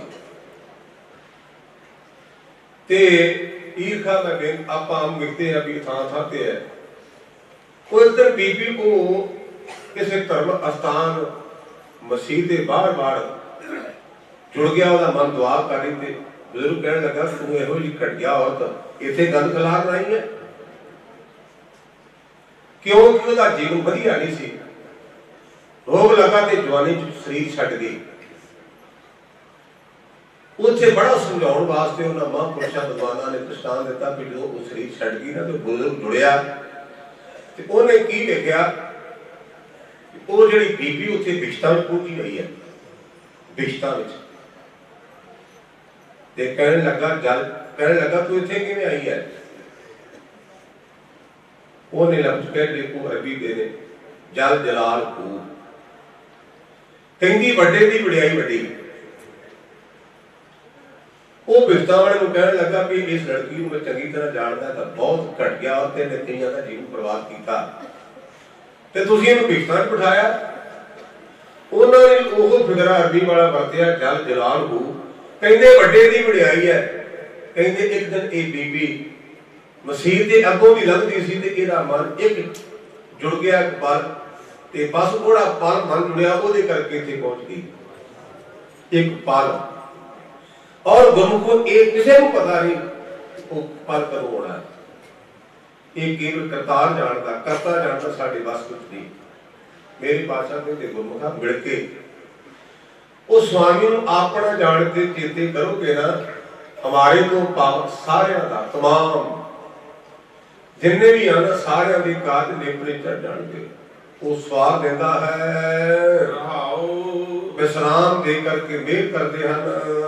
ਪੁੰਦਾਨ ਪੂਜਾ ਪਰਮੇਸ਼ਰ ਹਰ ਗੀਤ ਤਤ ਵਿਚਾਰੇ। ਗੁਰਮੁਖੋ ਵੱਖ-ਵੱਖ ਮਤਾਂ ਵਾਲਿਆਂ ਨੇ ਵੱਖ-ਵੱਖ ਆਪੋ ਆਪਣੇ ਪੱਖ ਪੇਸ਼ ਕੀਤੇ। ਕੋਈ ਪੁੰਨ ਨੂੰ ਕਹਿ ਦਿੰਦਾ ਪੁੰਨ ਦਾ ਜਿਹੜਾ ਦੋ ਲਫ਼ਜ਼ ਆਉਂਦੇ ਨੇ ਇਹਨਾਂ ਦੇ ਅਰਥ ਵਾ ਵਿਦਵਾਨ ਪੁਰਸ਼ਾਂ ਨੇ। ਆੜੜ ਕੀਤੇ ਨੇ। ਪੁੰਨ ਤੇ ਦਾਨ ਦਾ ਕੀ ਫ਼ਰਕ ਹੈ। ਕਿਸੇ ਵਿਸ਼ੇਸ਼ ਮੌਕੇ ਤੇ ਜਿਵੇਂ ਵਿਸਾਖੀ ਦਾ ਮੌਕਾ ਹੈ ਦੀਵਾਲੀ ਦਾ ਮੌਕਾ ਹੈ, ਜਿਵੇਂ ਮਾਘੀ ਦੇ ਮੌਕੇ ਤੇ ਲੋਕੀ ਬੜਾ ਦਾਨ ਕਰਦੇ ਨੇ। ਯਥਾ ਸ਼ਬਦ ਨੇ ਜੋ ਕਿ ਨੇ ਅੱਜ ਮਾਘੀ ਹੈ ਅੱਜ ਕੁਝ ਨਾ ਕੁਝ ਰਥੋਂ ਦਈਏ। ਅੱਜ ਵਿਸਾਖੀ ਅੱਜ ਕੁਝ ਨਾ ਕੁਝ ਦਈਏ। ਜਿਵੇਂ ਮੁਸਲਮਾਨ ਭਰਾ ਈਦ ਦੇ ਮੌਕੇ ਤੇ ਗਰੀਬਾਂ ਨੂੰ ਕੁਝ ਨਾ ਕੁਝ ਵੰਡਦੇ ਨੇ। ਵਿਸ਼ੇਸ਼ ਪਰਬ ਮੌਕੇ ਤੇ ਕੁਝ ਦੇਣਾ ਇਹਨੂੰ ਕਹਿੰਦੇ ਨੇ ਪੁੰਨ। ਵਿਸ਼ੇਸ਼ ਮੌਕੇ ਤੇ ਪੁਰਬ ਦੇ ਮੌਕੇ ਤੇ। ਦਾਨ ਦਾ ਅਰਥ ਹੁੰਦਾ ਹੈ ਕਿ ਕਿਸੇ ਮੌਕੇ ਵੀ ਕਿਤੇ ਲੋੜਵੰਦਾਂ ਦੀ ਮਦਦ ਕਰਨੀ, ਉਹਨੂੰ ਦਾਨ ਕਹਿੰਦੇ ਹਨ। ਤੇ ਪੂਜਾ ਦੇ ਬਾਰੇ ਆਪਾਂ ਗੁਰਬਾਣੀ ਚ ਪੜ੍ਹਦੇ ਆ ਜਿਵੇਂ ਕਈ ਲੋਕ ਸ਼ਿਵ ਦੀ ਪੂਜਾ ਕਰਦੇ ਨੇ, ਕੋਈ ਦੇਵੀ ਦੀ ਪੂਜਾ ਕਰਦਾ, ਆਪੋ ਆਪਣਾ ਕੀਤਾ। ਤੇ ਸਾਨੂੰ ਪਾਤਸ਼ਾਹ ਨੇ ਕਿਹਾ, ਸਿਖਾ ਇਹਨੇ ਚੱਕਰਾਂ ਚ ਨਾ ਪਈ ਦੁਖਤਾ ਨਾ ਪੜੋ ਹਰ ਬਿਨ ਹੋ ਨਾ ਪੂਜੋ ਬੜੇ ਪਸੰਦ ਨਾ ਚਾਹੀਦਾ ਤੇ ਪੁਣੇ ਚ ਨਾ ਪਈ ਹਾਈ ਤੋਂ ਬੜਾ ਕਿਸੇ ਹੋਰ ਦੀ ਪੂਜਾ ਨਾ ਕਰੀ ਤੇ ਕਿਤੇ ਮੜੇ ਮਸਾਣਾ ਵਿੱਚ ਪੈ ਕੇ ਤੇ ਆਪਣਾ ਜੀਵ ਉਲਝਾ ਨਾ ਬੈਠੀ। ਹਰ ਕੀਰ ਤਤ ਵਿਚਾਰੇ ਤਤੋਂ ਭਾਵ ਸਿਧਾਂਤ। ਜਿਹੜਾ ਪ੍ਰਮਾਤਮਾ ਦੀ ਕੀਰਤੀ ਕਰਨੀ ਹੈ, ਵੈਗੁਰੂ ਦੀ ਵਡਿਆਈ ਕਰਨੀ ਹੈ, ਇਹ ਗੁਰਮੁਖਾ ਮੇਨ ਸਿਧਾਂਤ ਹੈ। ਔਰ ਇਹ ਪੁੰਨ ਤੋਂ ਉੱਚਾ, ਦਾਨ ਤੋਂ ਉੱਚਾ, ਪੂਜਾ ਤੋਂ ਉੱਚਾ ਜਿਹਨੂੰ ਆਪਾਂ ਆਮ ਬੋਲੀ ਚ ਕਹਿੰਦੇ 100 ਗੱਲਾਂ ਦੀ ਇੱਕੋ ਗੱਲ। ਮੇਰੇ ਪਾਤਸ਼ਾਹ ਕਹਿੰਦੇ 100 ਗੱਲਾਂ ਦੀ ਇੱਕੋ ਗੱਲ ਹੈ ਕਿਹੜਾ ਪ੍ਰਮਾਤਮਾ ਦੀ ਕੀਰਤੀ ਕਰਨੀ ਹੈ ਨਾ ਉਸ ਤਤ ਸਿਧਾਂਤ ਨੂੰ ਵਿਚਾਰਨਾ ਇਹੋ ਹੀ ਪੁੰਨ ਹੈ, ਇਹੋ ਹੀ ਦਾਨ ਹੈ, ਇਹੋ ਹੀ ਪੂਜਾ ਹੈ। ਗੁਣ ਗਾਵਤ ਉਸ ਪਰਮਾਤਮਾ ਦੀ ਵਡਿਆਈ ਕਰਦਿਆਂ ਕਰਦਿਆਂ ਤੈਨੂੰ ਇੰਨਾ ਆਨੰਦ ਆਏਗਾ, ਇੰਨਾ ਸੁਖ ਮਿਲੇਗਾ, ਉਹਨੂੰ ਤੋਲਿਆ ਨਹੀਂ ਜਾ ਸਕਦਾ। ਗੜੀ ਨਾ ਮਿਲਗੇ, ਤੋਲ ਨਾ ਤੁਲਗੇ ਉਹਨੂੰ ਗਜਾਂ ਦੇ ਨਾਲ ਮਿਲਿਆ ਨਹੀਂ ਜਾ ਸਕਦਾ। ਉਹਨੂੰ ਤਰਾਜੂ ਨਾਲ ਤੋਲਿਆ ਨਹੀਂ ਜਾ ਸਕਦਾ। ਜਿਹੜਾ ਉਹ ਆਨੰਦ ਹੈ ਨਾ, ਉਸ ਆਨੰਦ ਦੀ ਮੇਜਰਮੈਂਟ ਨਹੀਂ। ਅੰਤ ਨ ਸਿਫਤੀ ਕਹਿ ਨ ਅੰਤ ਅੰਤ ਨ ਕਰਨੇ ਦੇਣ ਨ ਅੰਤ ਅੰਤ ਨ ਵੇਖਣ, ਸੁਣ ਨ ਅੰਤ ਅੰਤ ਨ ਜਾਪੇ, ਕਿਆ ਮਨ ਬੰਤ ਅੰਤ ਨ ਜਾਪੇ, ਕੀਤਾ ਆਕਾਰ, ਅੰਤ ਨ ਜਾਪੈ ਪਾਰਾਵਾਰ ਤੋ ਮੇਰੇ ਪਾਤਸ਼ਾਹ ਕਹਿੰਦੇ, ਉਹ ਮਨੁੱਖ ਜਿਹੜੇ ਗੁਣ ਗਾਉਂਦੇ, ਜਿਹੜਾ ਗਾਉਣ ਦਾ ਲਫ਼ਜ਼ ਹੈ ਇਹਦੇ ਪਿੱਛੇ ਕੋਈ ਖਾਸ ਕੋਈ ਵਿਚਾਰ ਸਿਧਾਂਤ ਹੈ। ਇੱਕ ਮੁਸਲਮਾਨ ਵੀਰ ਦੇ ਬੋਲ ਨੇ ਕਹਿੰਦਾ, ਬਾਜ ਖੁਸ਼ੀ ਦੇ ਹੱਸਿਆ, ਨਹੀਂ ਜਾਂਦਾ ਰੋਣੇ ਗਵਾਂ ਦੇ ਬਾਜ ਨਹੀਂ ਹੋਈ ਜਾਂਦੇ, ਦਰਦਾਂ ਬਾਜ ਨਾ ਸੀਨੇ ਵਿਸ਼ੇਕ ਹੁੰਦੇ ਸ਼ੇਕਾਂ ਬਾਜ ਨਾ ਮੋਤੀ ਪਰਾਏ ਨਾ ਹੋਏ ਜਾਂਦੇ। ਜਿਹੜਾ ਗੁਰਦੇਵ ਨੇ ਥਾਂ ਥਾਂ ਤੇ ਗਾਉਣ ਦਾ ਇਸ਼ਾਰਾ ਕੀਤਾ ਨਾ, ਉਹਦਾ ਭਾਵ ਹੈ ਕੋਈ ਗੁਰਮੁਖਾ ਡੰਨ ਪੂਰਾ ਨਾ ਕਰੀ, ਮਨ ਦੀ ਖੁਸ਼ੀ, ਮਨ ਨੂੰ ਖੁਸ਼ੀ ਕਰਕੇ ਵਡਿਆਈ ਕਰ। ਇਹ ਬੜਾ ਔਖਾ ਜੀ ਖੁਸ਼ੀ ਕਰਕੇ ਆਪਾਂ ਕਹਿੰਦੇ ਮਿੱਤਰਾ ਤੂੰ 10 ਮਿੰਟ ਆ ਆਪਣਾ ਸਵਾਰ ਬੰਨ ਤੇ ਮੈਂ 15 ਮਿੰਟ ਨਿਤ ਨੂੰ ਵੇੜ ਕੇ ਆਇਆ। ਤੇ ਆਪਾਂ ਕਰਦੇ ਸਾਰੇ ਉਹ ਹੋਣਗੇ ਭਾਗਾ ਵਾਲੇ, ਜਿਹੜੇ ਖੁਸ਼ੀ ਨਾਲ ਬਾਣੀ ਪੜਨ ਕੇ ਤੇ ਆਪਾਂ ਕਹਿੰਦੇ ਵੀ ਆਪਾਂ ਇਹਨੂੰ ਗੁਰੂ ਨਾਲ ਪ੍ਰੇਮ ਨਹੀਂ ਸਮਝਿਆ, ਇਹ ਆਪਾਂ ਡਨ ਸਮਝਿਆ, ਡਨ। ਕਿ ਕਿਸ਼ਤ ਕੀਤੀ ਲੋੜੀ ਤਾਂ ਪੈ ਗਈ ਗੁਰੂ ਨਾਲ ਲੇਖ ਦੀ, ਪੰਜ ਪਾਣੀਆਂ ਸਵੇਰੇ। ਜੇ ਆਪਾਂ ਕਮੇਟੀ ਨਾਲ ਤਾਰੀ ਕੇ ਮੁੜ ਕੇ ਆਪਣੀ ਕਮੇਟੀ ਮਾਰੀ ਨਾ ਜਾਏ, ਆਪਾਂ ਕਮੇਟੀਆਂ ਪਾਉਣੇ ਨਾ। ਕਿ ਜੇ ਕਮੇਟੀ ਨਾ, ਟਾਈਮ ਨਾਲ ਦਿੱਤੀ ਤੇ ਮੁੜ ਕੇ ਕਮੇਟੀ ਕੱਢਣ ਵਾਲਾ ਮੁੱਕਰ ਨਾ ਜਾਏ। ਤੇ ਆਪਾਂ ਨਿਤਨੇਮ ਨੂੰ ਕਮੇਟੀ ਬਣਾ ਲਿਆ ਕਮੇਟੀ। ਕਿ ਸਵੇਰੇ ਪੰਜ ਬਾਣੀਆਂ ਦੀ ਕਿਸ਼ਤ ਆ ਗਈ, ਸ਼ਾਮ ਨੂੰ ਮੁੜ ਕੇ ਇੱਕ ਇੱਕ ਕਰਕੇ ਸੋਧ ਦਾ ਪਾਠ, ਇੱਕ ਰਹਿ ਰਾਤ ਦਾ ਪਾਠ। ਮਹਾਰਾਜ ਤੇਰਾ ਲਾਮਾ ਲਾ ਦਿੱਤਾ, ਤੂੰ ਸਾਥ ਤੱਕ ਸਤੇ ਦੀਆਂ ਸਤੇ ਪਾਣੀਆਂ ਸਾਡੀਆਂ ਜਮਾ ਕਰ ਲੈ, ਅੱਜ ਦੀ ਕਿਸ਼ਤ ਪੂਰੀ। ਇਹ ਨਹੀਂ ਚਾਰ ਨਾਲ ਜਾਏ, ਚਾਰ ਨਾਲ ਉਹਦੀ ਖੁਸ਼ੀ ਨਾਲ ਬੜੇ ਕੀਤੀ ਜਾਏ। ਗੁਰਮੁਖ ਮੈਨੂੰ ਪਤਾ ਨਹੀਂ ਹੋ ਸਕਦਾ, ਮੈਂ ਗਲਤ ਹੋਵਾਂ। ਮੇਰੀ ਜਾਤੀ ਹੈ ਕਿ ਆਪਾਂ ਗਿਣਤੀ ਨਾ ਕਰੀਏ। ਜੇ ਕਿਤੇ ਸਾਰੀ ਦਿਹਾੜੀ ਵਿੱਚ ਮਨ ਜੁੜ ਕੇ ਇੱਕ ਜਪਜੀ ਸਾਹਿਬ ਦਾ ਪਾਠ ਨਹੀਂ, ਇੱਕ ਮਨ ਜੁੜ ਕੇ ਪਿਆਰ ਨਾਲ ਉਹਦੀ ਪੂਰੀ ਕੀਤੀ ਮੈਂ ਨਾਲ ਬੇਨਤੀ ਕੀਤੀ ਕਿ ਜੇ ਮਨ ਜੁੜ ਕੇ ਇਕਾਗਰਤਾ ਨਾਲ ਰਾਸ ਲੈ ਲੈ ਕੇ ਬਾਣੀ ਪੜੀ ਜਾਏ, ਤੇ ਉਹਦਾ ਇੰਨਾ ਸੁੱਖ ਹੈ ਕਿ ਉਹ ਤੋਲਿਆ ਨਹੀਂ ਜਾ ਸਕਦਾ, ਉਹਨੂੰ ਮਾਪਿਆ ਨਹੀਂ ਜਾ ਸਕਦਾ, ਉਹਨੂੰ ਮਿਲਿਆ ਨਹੀਂ ਜਾ ਸਕਦਾ। ਮੇਰੇ ਪਾਤਸ਼ਾਹ ਕਹਿੰਦੇ ਗੁਰੂ ਕਾ ਕਿਤੇ ਗੁਣ ਗਾ ਕੇ ਵੇਖੇਗਾ ਨਾ, ਤੇ ਤੈਨੂੰ ਇੰਨਾ ਸੁੱਖ ਮਿਲੇਗਾ ਜਿਹੜਾ ਤੋਲਿਆ ਨਹੀਂ ਜਾ ਸਕਦਾ। ਵੀਰ ਗੁੰਗੇ ਗੁਰ ਖਾਇਆ।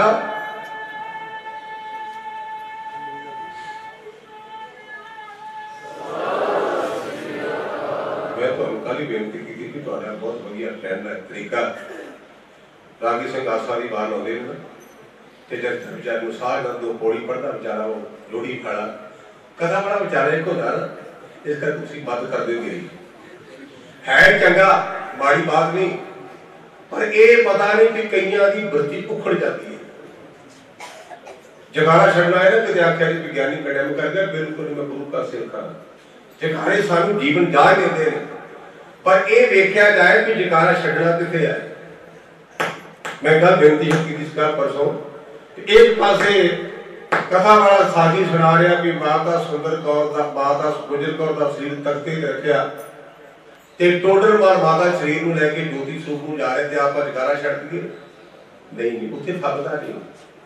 ਜਦੋਂ ਅਸੀਂ ਆਖਾਂਗੇ ਨਾ ਕਿ ਬਾਬਾ ਮਤਾਬ ਸਿੰਘ ਨੇ ਇੱਕ ਇੱਕ ਝਟਕੇ ਦੇ ਨਾਲ ਮਸੇ ਦਾ ਸਿਰ ਲਾਇਆ, ਉੱਥੇ ਜਗਾਰਾ ਬੜਾ ਫੱਬਦਾ ਜੇ। ਬਾਬਾ ਸੁਖਾ ਸਿੰਘ ਦੇ ਮਤਾਬ ਸਿੰਘ ਨੇ ਮਸੇ ਨੂੰ ਠੋਕਿਆ ਆਪਾਂ ਪੜਦੇ ਹਾਂ। ਜਦੋਂ ਮਸੇ ਦਾ ਆਪਾਂ ਜ਼ਿਕਰ ਪੜਾਂਗੇ ਤਾਂ ਪਾਗੇ ਮਤਾਬ ਸਿੰਘ ਨੇ ਸਹੀ ਸਭ ਕੱਢੀ ਤੇ ਇੱਕ ਇੱਕ ਝਟਕੇ ਨਾਲ ਮੱਸੇ ਨੂੰ ਸੋਹ ਦਿੱਤਾ। ਉੱਥੇ ਜਗਾਰਾ ਬੜਾ ਫਿੱਟ ਹੈ ਬੜਾ ਢੁਕਵਾ ਹੈ। ਇਸ ਕਰਕੇ ਜਗਾਰਾ ਸਾਡੇ ਜੀਵਨ ਸਾਨੂੰ ਸਟੇਟ ਕਰਦਾ, ਜਾਗਰਤ ਕਰਦਾ ਪਰ ਇਸ ਗੱਲ ਦਾ ਖਿਆਲ ਰੱਖਿਆ ਕਰੋ ਕਿ ਢੁਕਦਾ ਕਿੱਥੇ ਕਰ ਢੁਕਦਾ ਮੇਰੇ ਪਾਤਸ਼ਾਹ ਕਹਿੰਦੇ, ਗੁਣ ਗਾਓ, ਅਤੁਲ ਸੁਖ ਪਾਇਆ। ਪਰਮਾਤਮਾ ਦੀ ਵਡਿਆਈ ਕਰਦੇ ਇੰਨਾ ਸੁਖ ਮਿਲਿਆ ਕਿ ਅਤੋਲਿਆ ਨਹੀਂ ਜਾ ਸਕਦਾ ਮਿਲਿਆ ਨਹੀਂ ਜਾ ਸਕਦਾ। ਆਖੁਰ ਗੰਗਾ ਉਹ ਪੈਦਾ ਕਰਨ ਵਾਲਾ, ਪਾਲਣਾ ਕਰਨ ਵਾਲਾ ਤੇ ਲਹਿਤਾ ਕਰਨ ਵਾਲਾ ਠਾਕਰ ਅਗਮ ਦਾ ਆਤਮਾ ਪੁਰਸ਼ਾਂ ਨੇ ਕੀਤਾ ਹੈ। ਜਿਹਨੂੰ ਆਪਾਂ ਕਹਿੰਦੇ ਵੀ ਮੈਂ ਕਦੇ ਸੋਚਿਆ ਵੀ ਨਹੀਂ ਸੀ ਆ ਹੋ ਜਾਏਗਾ। ਦੋ ਗੁਰੂ ਦੀ ਬਾਣੀ ਚ ਕਹੋ, ਫਿਰ ਅਗਮ ਅਗੋਚਰ। ਅਗੋਚਰ ਦਾ ਅਰਥ ਹੁੰਦਾ ਵੀਰਾਂ ਨੇ, ਵਿਦਵਾਨਾਂ ਨੇ ਕੀਤਾ ਗੋਚਰ ਤੋਂ ਭਾਵ ਇੰਦਰੀਆਂ ਦੀ ਪਕੜ ਤੋਂ ਪਰਾ ਜਿਹੜਾ ਇਹਨਾਂ ਅੱਖਾਂ ਨਾਲ ਵੇਖਿਆ ਨਾ ਜਾ ਸਕੇ, ਜਿਹੜਾ ਇਹਨਾਂ ਕੰਨਾਂ ਨਾਲ ਸੁਣਿਆ ਨਾ ਜਾ ਸਕੇ ਅਗਮ ਤੋਂ ਭਾਵ ਇਹ ਹੈ ਇੰਦਰੀਆਂ ਦੀ ਪਕੜ ਮਨ ਦੀ ਗਮਤਾ ਤੋਂ ਪਰਾ। ਵੀ ਅਸੀਂ ਕਦੇ ਸੋਚਿਆ ਨਹੀਂ ਸੀ ਵੀ ਆ ਹੋ ਜਾਏ। ਗੁਰਮੁਖਾ ਪਰਿਪੂਰਨ ਪਰਮਾਤਮਾ ਜੀ ਤੋਂ ਗੁਰੂ ਨੂੰ ਆਪਣੇ ਜਾਣ ਕੇ ਚੇਤੇ ਕਰੇ, ਤੇ ਤੇਰੇ ਤੇ ਇੰਨੀਆਂ ਰਹਿਮਤਾਂ ਹੋ ਜਾਣਗੇ ਵੀ ਤੂੰ ਕਦੇ ਤੂੰ ਸੋਚਿਆ ਵੀ ਨਹੀਂ। ਉਹ ਤੈਨੂੰ ਇੰਨਾ ਨਵਾਜ ਦੇਗਾ। ਪਰ ਹੈ ਉਹ ਪਾਰਾਵਾਰ ਤੋਂ ਰਹਿਤ ਉਹਦੀ ਬਾਉਂਡਰੀ ਉਹਦੀ ਕੋ ਨਹੀਂ। ਜੋ ਜਨ ਪਾਸ ਕਮ ਆਪਣੇ ਕੀਨੇ। ਇਹ ਵਿਦਵਾਨ ਪੁਰਸ਼ਾਂ ਨੇ ਪਾਰ ਬ੍ਰਹਮ ਤੇ ਪੂਰ ਬ੍ਰਹਮ ਦੋ ਸ਼ਬਦਾਂ ਦੀ ਵਰਤੋਂ ਕੀਤੀ ਹੈ, ਸਾਨੂੰ ਸਮਝਾਉਣ ਲਈ। ਕਹਿੰਦੇ ਨੇ ਪੂਰ ਬ੍ਰਹਮ ਦਾ ਭਾਵ ਹੈ ਕਿ ਜਿਹੜਾ ਦਿਸ ਪਵੇ। ਤੇ ਪਾਰ ਦਾ ਭਾਵ ਹੈ ਜਿਹੜਾ ਸਾਡੀ ਅੱਖਾਂ ਦੀ ਪਕੜ ਵਿੱਚ ਨਾ ਆਵੇ। ਔਰ ਉਹ ਵੀਰ ਦਲੀਲ ਕਹਿੰਦੇ ਨੇ ਕਿ ਦੀਨ ਦੁਨੀਆ ਦੇ ਮਾਲਕ ਸਤਿਗੁਰੂ ਨਾਨਕ ਪਾਤਸ਼ਾਹ ਮਹਾਰਾਜ ਦੇ ਵੇਈ ਦੀ ਚੁਭੀ ਮਾਰੀ ਤੇ ਪਰਿਪੂਰਨ ਉਸ ਵੈਗੁਰੂ ਦੇ ਦਰਬਾਰ ਵਿੱਚ ਸੰਮੁਖ ਹੋਏ। ਉਹ ਸਾਡੇ ਵਡੇਰੇ ਵਿਦਵਾਨਾਂ ਦੇ ਕਹਿਣ ਦੇ ਮੁਤਾਬਕ ਉਸ ਵੈਗੁਰੂ ਨੇ ਆਖਿਆ, ਨਾਨਕ, ਤੇਰਾ ਨਾਮ, ਮੇਰਾ ਨਾਮ ਪਾਰਬ੍ਰਹਮ ਪਰਮੇਸ਼ਰ ਤੇ ਤੇਰਾ ਨਾਮ ਪੂਰਨ ਬ੍ਰਹਮ ਪਰਮੇਸ਼ਰ। ਇਹ ਸਾਡੇ ਇਤਿਹਾਸ ਵਿੱਚ ਅਰਥ ਅੰਕਿਤ ਨੇ ਜੋ ਜਨ ਪਾਰਬ੍ਰਹਮ ਆਪਣੇ ਕੀਨੇ, ਪਾਰਬ੍ਰਹਮ ਤੋਂ ਪਾਪ ਉਹ ਪ੍ਰਮਾਤਮਾ, ਜਿਹੜਾ ਸਾਡੀ ਇੰਦਰੀਆਂ ਦਾ ਵਿਸ਼ਾ ਨਹੀਂ, ਜਿਹਦੇ ਬਾਰੇ ਆਪਾਂ ਰੋਜ਼ਾਨਾ ਪੜ੍ਹਦੇ ਹਾਂ, ਚੱਕਰ ਚੀਨ ਅਰ ਬਰਨ ਜਾਤ ਅਰ ਪਾਤ ਨਹਿੰਦੇ ਰੂਪ, ਰੰਗ ਅਰ ਰੇਖ ਭੀਰ ਕੋ ਕਹਿ ਨ ਸਕਤ ਕਹੇ, ਅਚਲ, ਮੂਰਤ ਅਨ ਕਉ ਪ੍ਰਕਾਸ਼, ਅੰਤੋਜ ਕੇ ਜੈ। ਅੰਤੋਜ ਤੋਂ ਬਾਅਦ ਅਮਿਤ ਕੋਜ ਕੋਜ ਕਹਿੰਦੇ ਨੇ? ਤਾਕਤ ਨੂੰ, ਬਲ ਨੂੰ। ਅਮਿਤ ਤੋਂ ਭਾਵ ਕਿ ਉਹਦਾ ਬਲ ਮਾਪਿਆ ਨਹੀਂ ਜਾ ਸਕਦਾ। ਅਸੀਂ ਸੀਮਤ ਹਾਂ। ਇੱਕ ਸਾਡੇ ਇਤਿਹਾਸ ਵਿੱਚ ਸਾਗੀ ਦਰਜ ਹੈ ਕਿ ਕਲਗੀਧਰ ਪਾਤਸ਼ਾਹ ਮਹਾਰਾਜ ਘੋੜੇ ਤੇ ਸਵਾਰ ਹੋਣ ਲੱਗੇ। ਮੈਂ ਬੇਨਤੀ ਅਗੇ ਕੀਤੀ ਕਿ ਮਨੁੱਖੀ ਸਵਾਦ ਦੀ ਕਮਜ਼ੋਰੀ ਸ਼ੰਕਾ। ਬਾਬਾ ਰਾਮਪੁਰ ਸਾਹਿਬ ਕੋਲ ਖਲੋਤੇ ਨੇ। ਤੇ ਕਲਗੀਧਰ ਪਾਤਸ਼ਾਹ ਮਹਾਰਾਜ ਸਿੰਘ ਬੜਾ ਸ਼ਾਂਤਮਾ ਹੈ। ਤੇ ਮਨ ਵਿੱਚ ਫੁਰਨਾ ਆਇਆ ਕਿ ਇਹਦੇ ਵਿੱਚ ਕੋਈ ਸ਼ੱਕ ਨਹੀਂ, ਗੁਰੂ ਗੋਬਿੰਦ ਸਿੰਘ ਸੱਚੇ ਪਾਤਸ਼ਾਹ ਸਾਡੇ ਗੁਰਦੇਵ ਨੇ। ਪਰ ਸਰੀਰ ਤਾਂ ਪਤਲਾ ਜਿਹਾ ਨਾ।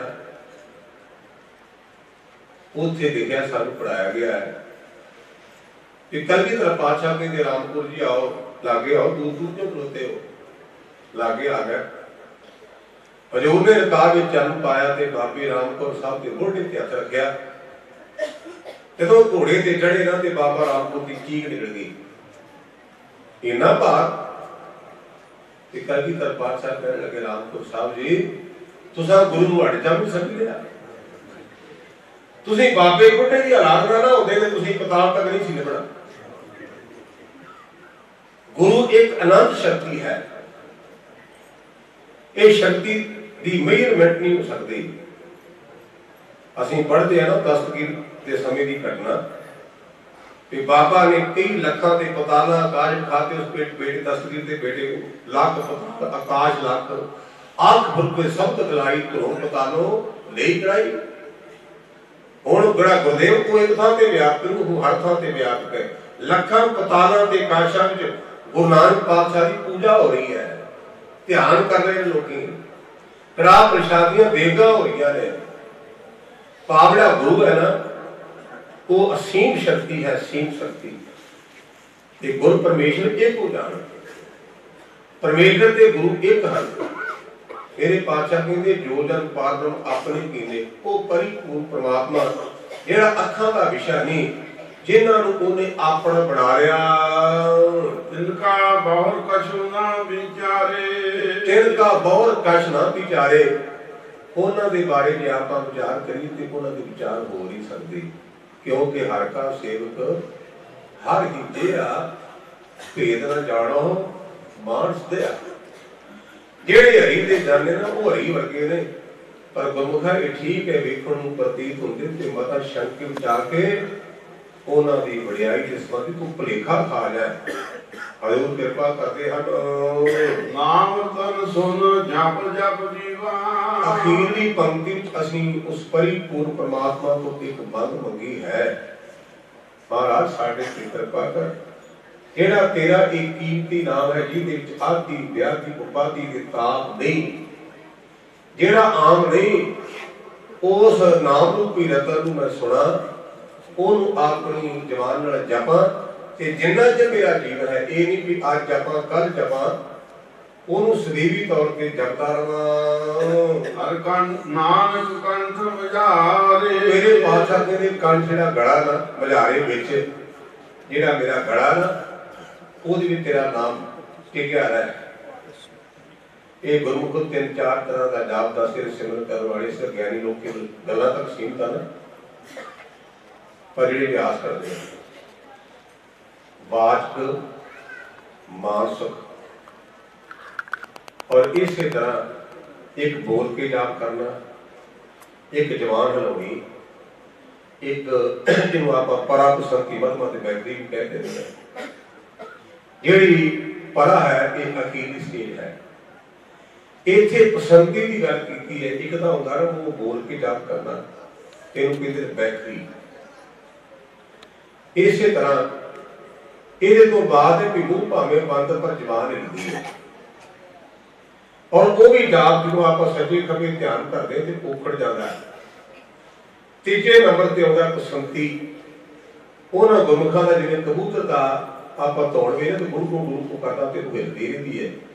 ਇਸੇ ਤਰ੍ਹਾਂ ਉਸ ਅਵਸਥਾ ਵਿੱਚ ਜ਼ਬਾਨ ਭਾਵੇਂ ਬੰਦ ਹੁੰਦੀ, ਉਹ ਵਿਹਾਰ ਕਰਦਾ, ਪਰ ਉਹਦੀ ਉਹ ਜਿਹੜੀ ਘੰਟੀ ਹੈ ਨਾ ਉਹ ਹਰਕਤ ਕਰਦੀ ਰਹਿੰਦੀ ਤੇ ਉਹਦੇ ਗਲੇ ਦੇ ਵਿੱਚ ਕਣਦਾ ਤੇ ਗਲਾ ਉਹਦੇ ਵਿੱਚ ਜਾਪ ਚੱਲਦਾ ਰਹਿੰਦਾ ਹੈ। ਤੇ ਜੇ ਉਹ ਚੱਲਦਾ ਹੈ ਤੇ ਮੁੜ ਕੇ ਪਰਾਵਸਥਾ ਬਣ ਜਾਂਦੀ ਔਰ ਇਹ ਪਰਾ ਜਾਪ ਇਤਿਹਾਸ ਮੁਤਾਬਕ ਬਾਬੇ ਮਰਦਾਨੇ ਦਾ ਕਰਦਾ ਸੀ ਭਾਈ ਮਰਦਾਨਾ ਜੀ ਹੋਏ ਨਾ, ਉਹਨਾਂ ਦਾ ਪਰਾ ਜਾਪ ਚੱਲਦਾ ਸੀ, ਪਰਾ। ਉਹ ਆਪਾਂ ਉਹਨਾਂ ਦੇ ਇੱਕ ਦੇ ਚਲਾਣੇ ਦਾ ਪਸੰਦ ਪੜੀਏ ਤੇ ਉਹ ਭਾਈ ਮਰਦਾਨਾ ਜੀ ਕਹਿਣ ਲੱਗੇ, ਪਾਤਸ਼ਾਹ ਨੂੰ ਆ ਗਿਆ ਤੇ ਹੁਣ ਤੇ ਸਤਿਗੁਰੂ ਪਾਤਸ਼ਾਹ ਕਹਿਣ ਲੱਗੇ, ਮਰਦਾਨਾ ਜੀ ਕਾਲੇ ਪੈ ਗਏ ਕਹਿੰਦੇ ਜੀ, ਤੁਹਾਡੀ ਰਜਾਤ ਆ ਪਰ ਮੇਰੇ 90 ਸਵਾਸ ਬਾਕੀ ਨੇ, ਜਨਮ ਸਾਲ 'ਚ ਲਿਖਿਆ ਹੋਇਆ। ਭਾਈ ਬਾਲਾ ਜੀ ਕਹਿੰਦੇ ਕਿ ਮੈਂ ਗੁਰਦੇਵ ਕਹਿਣ ਲੱਗੇ, ਭਾਈ ਬਾਲਾ ਜੀ, ਮਰਦਾਨੇ ਦੇ ਸਵਾਸਾਂ ਦੀ ਗਿਣਤੀ ਕਰੋ ਤੇ ਕਹਿੰਦੇ ਮੈਂ ਗਿਣਤੀ ਕੀਤੀ। ਜਦੋਂ 90 ਸਵਾਸ ਪੂਰੇ ਹੋਏ ਨਾ, ਤੇ ਭਾਈ ਮਰਦਾਨੇ ਦਾ ਸਰੀਰ ਸ਼ਾਂਤ ਹੋ ਗਿਆ। ਔਰ ਉਹਦਾ ਉਹ ਫਲ ਕੀ ਪਿਆ ਜਿਵੇਂ ਕੋਈ ਸਕਾਲਰਸ਼ਿਪ ਲੈਂਦਾ ਨਾ ਤੇ ਉਹਨੂੰ ਮੁੜ ਕੇ ਵਜੀਫਾ ਮਿਲਦਾ ਹੈ। ਉੱਥੇ ਬੜੇ ਪਿਆਰੇ ਬੋਲ ਨੇ ਮੇਰੇ ਬਾਦਸ਼ਾਹ ਕਹਿੰਦੇ ਬਾਲਿਆ। ਮਰਦਾਨਾ ਪੂਰਨ ਪੁਰਖ ਹੋਇਆ। ਹੁਣ ਗੁਰੂ ਨਾਨਕ ਪਾਤਸ਼ਾਹ ਦੀ ਨਿਗਾਹ ਦੇ ਜਿਹੜਾ ਪੂਰਨ ਪੁਰਖ ਨੂੰ ਆਪਾਂ ਕੀ ਆਖਾਂਗੇ? ਔਰ ਇਸੇ ਕਾਰਨ ਕਰਕੇ ਜਦੋਂ ਅਸੀਂ ਪੜ੍ਹਦੇ ਨਾ ਪ੍ਰਧਾਨਾ ਪਹਿਲਾ, ਤੇ ਮੇਰੀ ਆਪਣਾ ਅੰਦਰ ਦਾ ਮਨ ਕਹਿੰਦਾ ਹੈ ਮਰਦਾਨਾ ਗੁਰਦੇਵ ਦੇ ਵਿੱਚ ਅਭੇਦ ਹੋ ਚੁੱਕਾ ਹੈ। ਇੱਕ ਮਿਲ ਹੋ ਚੁੱਕਾ ਹੈ। ਸਤਿਗੁਰੂ ਪਾਤਸ਼ਾਹ ਸਾਡੇ ਤੇ ਵੀ ਕਿਰਪਾ ਕਰਨ ਕਿ ਸਾਡੀ ਇਹ ਅਵਸਥਾ ਬਣੇ। ਸਤਿਗੁਰੂ ਗ੍ਰੰਥ ਸਾਹਿਬ ਜੀ ਪਾਤਸ਼ਾਹ ਮਹਾਰਾਜ ਦਾ ਦਰਬਾਰ, ਗੁਰੂ ਦੇ ਸੰਗਤਾਂ ਦਾ ਦਰਬਾਰ ਤੇ ਅਖੀਰ ਵਿੱਚ ਬਾਬਾ ਸੇਵਾ ਸਿੰਘ ਦਾ ਦਰਬਾਰ। ਇਹ ਤਾਂ ਕੀਤਾ ਵੀ ਕਹਿੰਦੇ, ਤੁਸੀਂ ਉੱਤਰ ਕਰੇ ਕੀਤਾ ਨਹੀਂ, ਅੱਜ ਕਿਵੇਂ ਕੀਤਾ ਜੇ? ਉਹਦਾ ਕਾਰਨ ਗੁਰਮੁਖੋ, ਜਿਹੜਾ ਰਿਸ਼ਤਾ ਕਰਾਵੇ ਨਾ ਵਿਚੋਲਾ, ਉਹਦਾ ਵੀ ਧੰਨਵਾਦ ਕਹਿੰਦਾ ਕਿ ਗੁਰਮੁਖਾ ਤੂੰ ਚੰਗਾ ਰਿਸ਼ਤਾ ਲੱਭ ਕੇ ਦਿੱਤਾ ਹੈ। ਇਸ ਕਰਕੇ ਇਹ ਵਿਚੋਲੇ ਬਣੇ ਨੇ ਇੱਥੇ। ਗੁਰੂ ਦੀ ਸੰਗਤ ਵਿੱਚ ਗੁਰੂ ਦੀ ਗੱਲ ਕਹਿਣ ਦਾ ਇਹਨਾਂ ਮੌਕਾ ਪਾਇਆ। ਗੁਰੂ ਪਾਤਸ਼ਾਹ ਦੇ ਚਰਨਾਂ 'ਚ ਅਰਦਾਸ ਬੇਨਤੀ ਪਾਤਸ਼ਾਹ, ਸਾਡੇ ਸਾਰਿਆਂ ਤੇ ਰਹਿਮਤ ਕਰੀ, ਸਾਡੇ ਸਾਰਿਆਂ ਤੇ ਕਿਰਪਾ ਕਰ, ਕਿ ਤੇਰੀ ਰਹਿਮਤ ਸਦੀਵੀ ਤੌਰ ਤੇ ਸਾਡੇ ਸਾਰਿਆਂ ਦੇ ਸਿਰ ਤੇ ਬਣੀ ਰਹੇ। ਇਹ ਸਤਿਗੁਰੂ ਪਾਤਸ਼ਾਹ ਦੇ ਚਰਨਾਂ 'ਚ ਮੰਗ ਹੈ ਕਿ ਗੁਰਮੁਖ ਕਰਤੀ ਦੀ ਗੱਲ ਕਰਤਾਰ ਜਾਣਦਾ ਪੂਰੇ ਦੀ ਗੱਲ ਅਧੂਰਾ ਕੋਈ ਵੀ ਨਹੀਂ ਕਰ ਸਕਦਾ। ਇਸ ਕਰਕੇ ਆਪਾਂ ਪੂਰੀ ਦੀ ਵਿਚਾਰ ਕਰਨ ਦਾ ਯਤਨ ਕੀਤਾ ਹੈ। ਉਹ ਪੂਰਾ ਸਾਡੇ ਤੇ ਕਿਰਪਾ ਕਰੇ, ਰਹਿਮਤ ਕਰੇ। ਹੋਈਆਂ ਭੁੱਲਾਂ ਦੀ ਮਾਫੀ ਕਿਉਂਕਿ ਇਹ ਕਹਿਣਾ ਕਿ ਗਲਤੀਆਂ ਹੋਈਆਂ। ਜਿੰਨਾ ਚਿਰ ਆਪਾਂ ਜਿਉਣੇ ਆਪਾਂ ਗਲਤੀਆਂ ਕਰਦੇ ਰਹਿਣਾ, ਹੁੰਦੀਆਂ ਰਹਿਣੀਆਂ ਨੇ। ਇੱਥੇ ਮੈਨੂੰ ਗੱਲ ਚੇਤੇ ਆ ਗਈ। ਹੈ ਦਾ ਟਾਈਮ ਦੋ ਚਾਰ ਮਿੰਟ ਉੱਤੇ। ਇੱਕ ਮਹਾਂਪੁਰਸ਼ ਹੋਏ ਨੇ। ਤੇ ਵੇਸ਼ਵਾਨ ਦੇ ਕੋਲ ਦੀ ਲੰਗੀ ਤੇ ਕਹਿਣ ਲੱਗੇ, ਬਾਬਾ ਜੀ, ਮੇਰੇ ਕੁੱਤੇ ਦੀ ਦਾੜੀ ਚੰਗੀ ਤੇ ਤੁਹਾਡੀ ਦਾੜੀ ਚੰਗੀ ਬੜਾ ਕਰਨਾ ਸ਼ਬਦ ਹੈ। ਮਹਾਂਪੁਰਸ਼ ਚੁੱਪ ਰਹਿ ਸਮਾਂ ਆਇਆ ਉਹਨਾਂ ਦਾ ਅੰਤਮ। ਤੇ ਸਾਥੀਆਂ ਨੂੰ ਕਹਿੰਦੇ ਬੀਬੀ ਨੂੰ ਬੁਲਾ ਕੇ ਲਿਆਓ? ਬੁਲਾਇਆ ਤੇ ਕਹਿੰਦੇ ਧੀਏ ਤੇਰੇ ਕੁੱਤੇ ਦੀ ਪੁੱਛਣ ਸਾਡੀ ਦਾੜੀ 100 ਗੁਣਾ ਚੰਗੀ ਉਹ ਕਹਿੰਦੀ, ਬਾਬਾ ਜੀ, ਗੱਲ ਤਾਂ ਇਹ ਸੀ। ਕਦੇ ਪਹਿਲਾਂ ਤਾਂ ਜਵਾਬ ਨਹੀਂ ਸੀ ਦਿੱਤਾ ਕਹਿਣ ਲੱਗੇ ਧੀ ਉਦੋਂ ਮੈਂ ਡਰਦਾ ਸਾਂ ਕਿ ਕਿਤੇ ਇਹ ਦਾੜੀ ਕੁੱਤੇ ਦੀ ਪੂਛ ਨਾਲੋਂ ਭੈੜੀ ਨਾ ਹੋ ਜਾਏ। ਤੇ ਹੁਣ ਤਾਂ 2000 ਸਵਾਸ ਬਾਕੀ ਨੇ, ਤੇਰਾ ਜੋਰ ਨਹੀਂ ਪੈਣਾ। ਇਸ ਕਾਰਨ ਕਰ ਗੁਰੂ ਅਜੋ ਸੁਣਾਓ ਸੋਤਨ ਮੈਂ ਕਿਆ ਜਾਂਦਾ ਕੋਏ ਅਜੇ ਆਪਣੀ ਬੇੜੀ ਦਰਿਆ 'ਚ ਹੈ। ਪਤਾ ਨਹੀਂ ਬੰਨੇ ਲੱਗੇ ਕਿ ਨਾ ਲੱਗੇ। ਗੁਰੂ ਕਿਰਪਾ ਕਰੇ, ਆਪ ਰਹਿਮਤ ਕਰਕੇ ਸਾਡੀ ਬੇੜੀ ਨੂੰ ਬੰਨੇ ਲਾ ਦੇ। ਇਹ ਗੁਰੂ ਪਾਤਸ਼ਾਹ ਦੇ ਚਰਨਾਂ 'ਚ ਅਰਦਾਸ ਬੇਨਤੀ ਆਪਾਂ ਬਾਬਾ ਹਰਨਾਮ ਸਿੰਘ ਜੀ ਨੂੰ, ਸੰਤ ਬਾਬਾ ਕਰਤਾਰ ਸਿੰਘ ਕੀਤੀ ਕਰਦੇ ਆ। ਤੇ ਬਾਬਾ ਸੇਵਾ ਸਿੰਘ ਦੀ ਗੱਲ ਆਪਾਂ ਤਾਂ ਨਹੀਂ ਕਰਦੇ ਕਿ ਉਹਨਾਂ ਦੀ ਬੇੜੀ ਲੰਘ ਗਈ। ਅੱਗੇ ਲੱਗੀ ਜਿਨ੍ਹਾਂ ਦੀ ਲੰਘ ਗਈ ਨਾ, ਉਹਨਾਂ ਨੂੰ ਤਾਂ ਯਾਦ ਕਰੀਦਾ ਕਿ ਕਿਤੇ ਉਹਨਾਂ ਦੇ ਮਗਰ ਮਗਰ ਸਾਡੀ ਵੀ ਲੰਘ ਜਾਏ। ਜਿਨ੍ਹਾਂ ਚ ਸਾਡੇ ਸਰੀਰ ਪ੍ਰਾਣ ਨੇ ਨਾ, ਇਹ ਮਨ ਦਾ ਕੋਈ ਭਰੋਸਾ ਨਹੀਂ। ਭਾਈ ਨੰਦ ਲਾਲ ਦੇ ਬਚਨਾਂ ਨੂੰ ਚੇਤੇ ਰੱਖਿਆ ਕਰੀ ਮਨਾ ਸ਼ਤਾਨਾ। ਬੇਈਮਾਨਾ, ਕਦੇ ਤਾਂ ਟਿਕ ਕੇ ਬਹਿ ਜਾ, ਨਿਤ ਵਾੜੇ ਤੇਰੇ ਕਰਦਾ ਹੈ। ਕਦੇ ਨਾ ਟਿਕ ਕੇ ਬਹਿ ਜਾ। ਇਸ ਕਰਕੇ ਸਾਡੇ ਪੈ ਮਗਰ ਹੱਠੇ ਪਛਤਾਨ ਲੱਗਾ ਹੈ ਕਿ ਗੁਰੂ ਭਗਵਾਨ ਸਾਡੀ ਰਾਖੀ ਕਰੇ। ਇਹ ਸਾਡਾ ਗੁਰੂ ਅੱਗੇ ਆੜਾ ਹੈ। ਦੁਬਾਰਾ ਗੁਰੂ ਦਾ ਗੁਰੂ ਕੇ ਸੰਗਤਾਂ ਦਾ, ਮਹਾਂਪੁਰਖਾਂ ਦਾ ਜਿੰਨੇ ਵੀ ਇੱਥੋਂ ਦੇ ਪ੍ਰਬੰਧ ਨੇ, ਉਹਨਾਂ ਸਾਰਿਆਂ ਦਾ ਪਰਿਵਾਰ ਭੁੱਲਾਂ ਚੁੱਕਾਂ ਦੀ ਮੁਆਫੀ ਜੀ। ਜੋ ਜਨ ਪਾਰ ਬ੍ਰਹਮ ਆਪਣੇ ਕੀਨੇ, ਤਿਨ ਕਾ ਬਹੁਰ ਕਛ ਨਾ ਵਿਚਾਰੇ, ਨਾਮ ਰਤਨ ਸੁਨ ਜਪ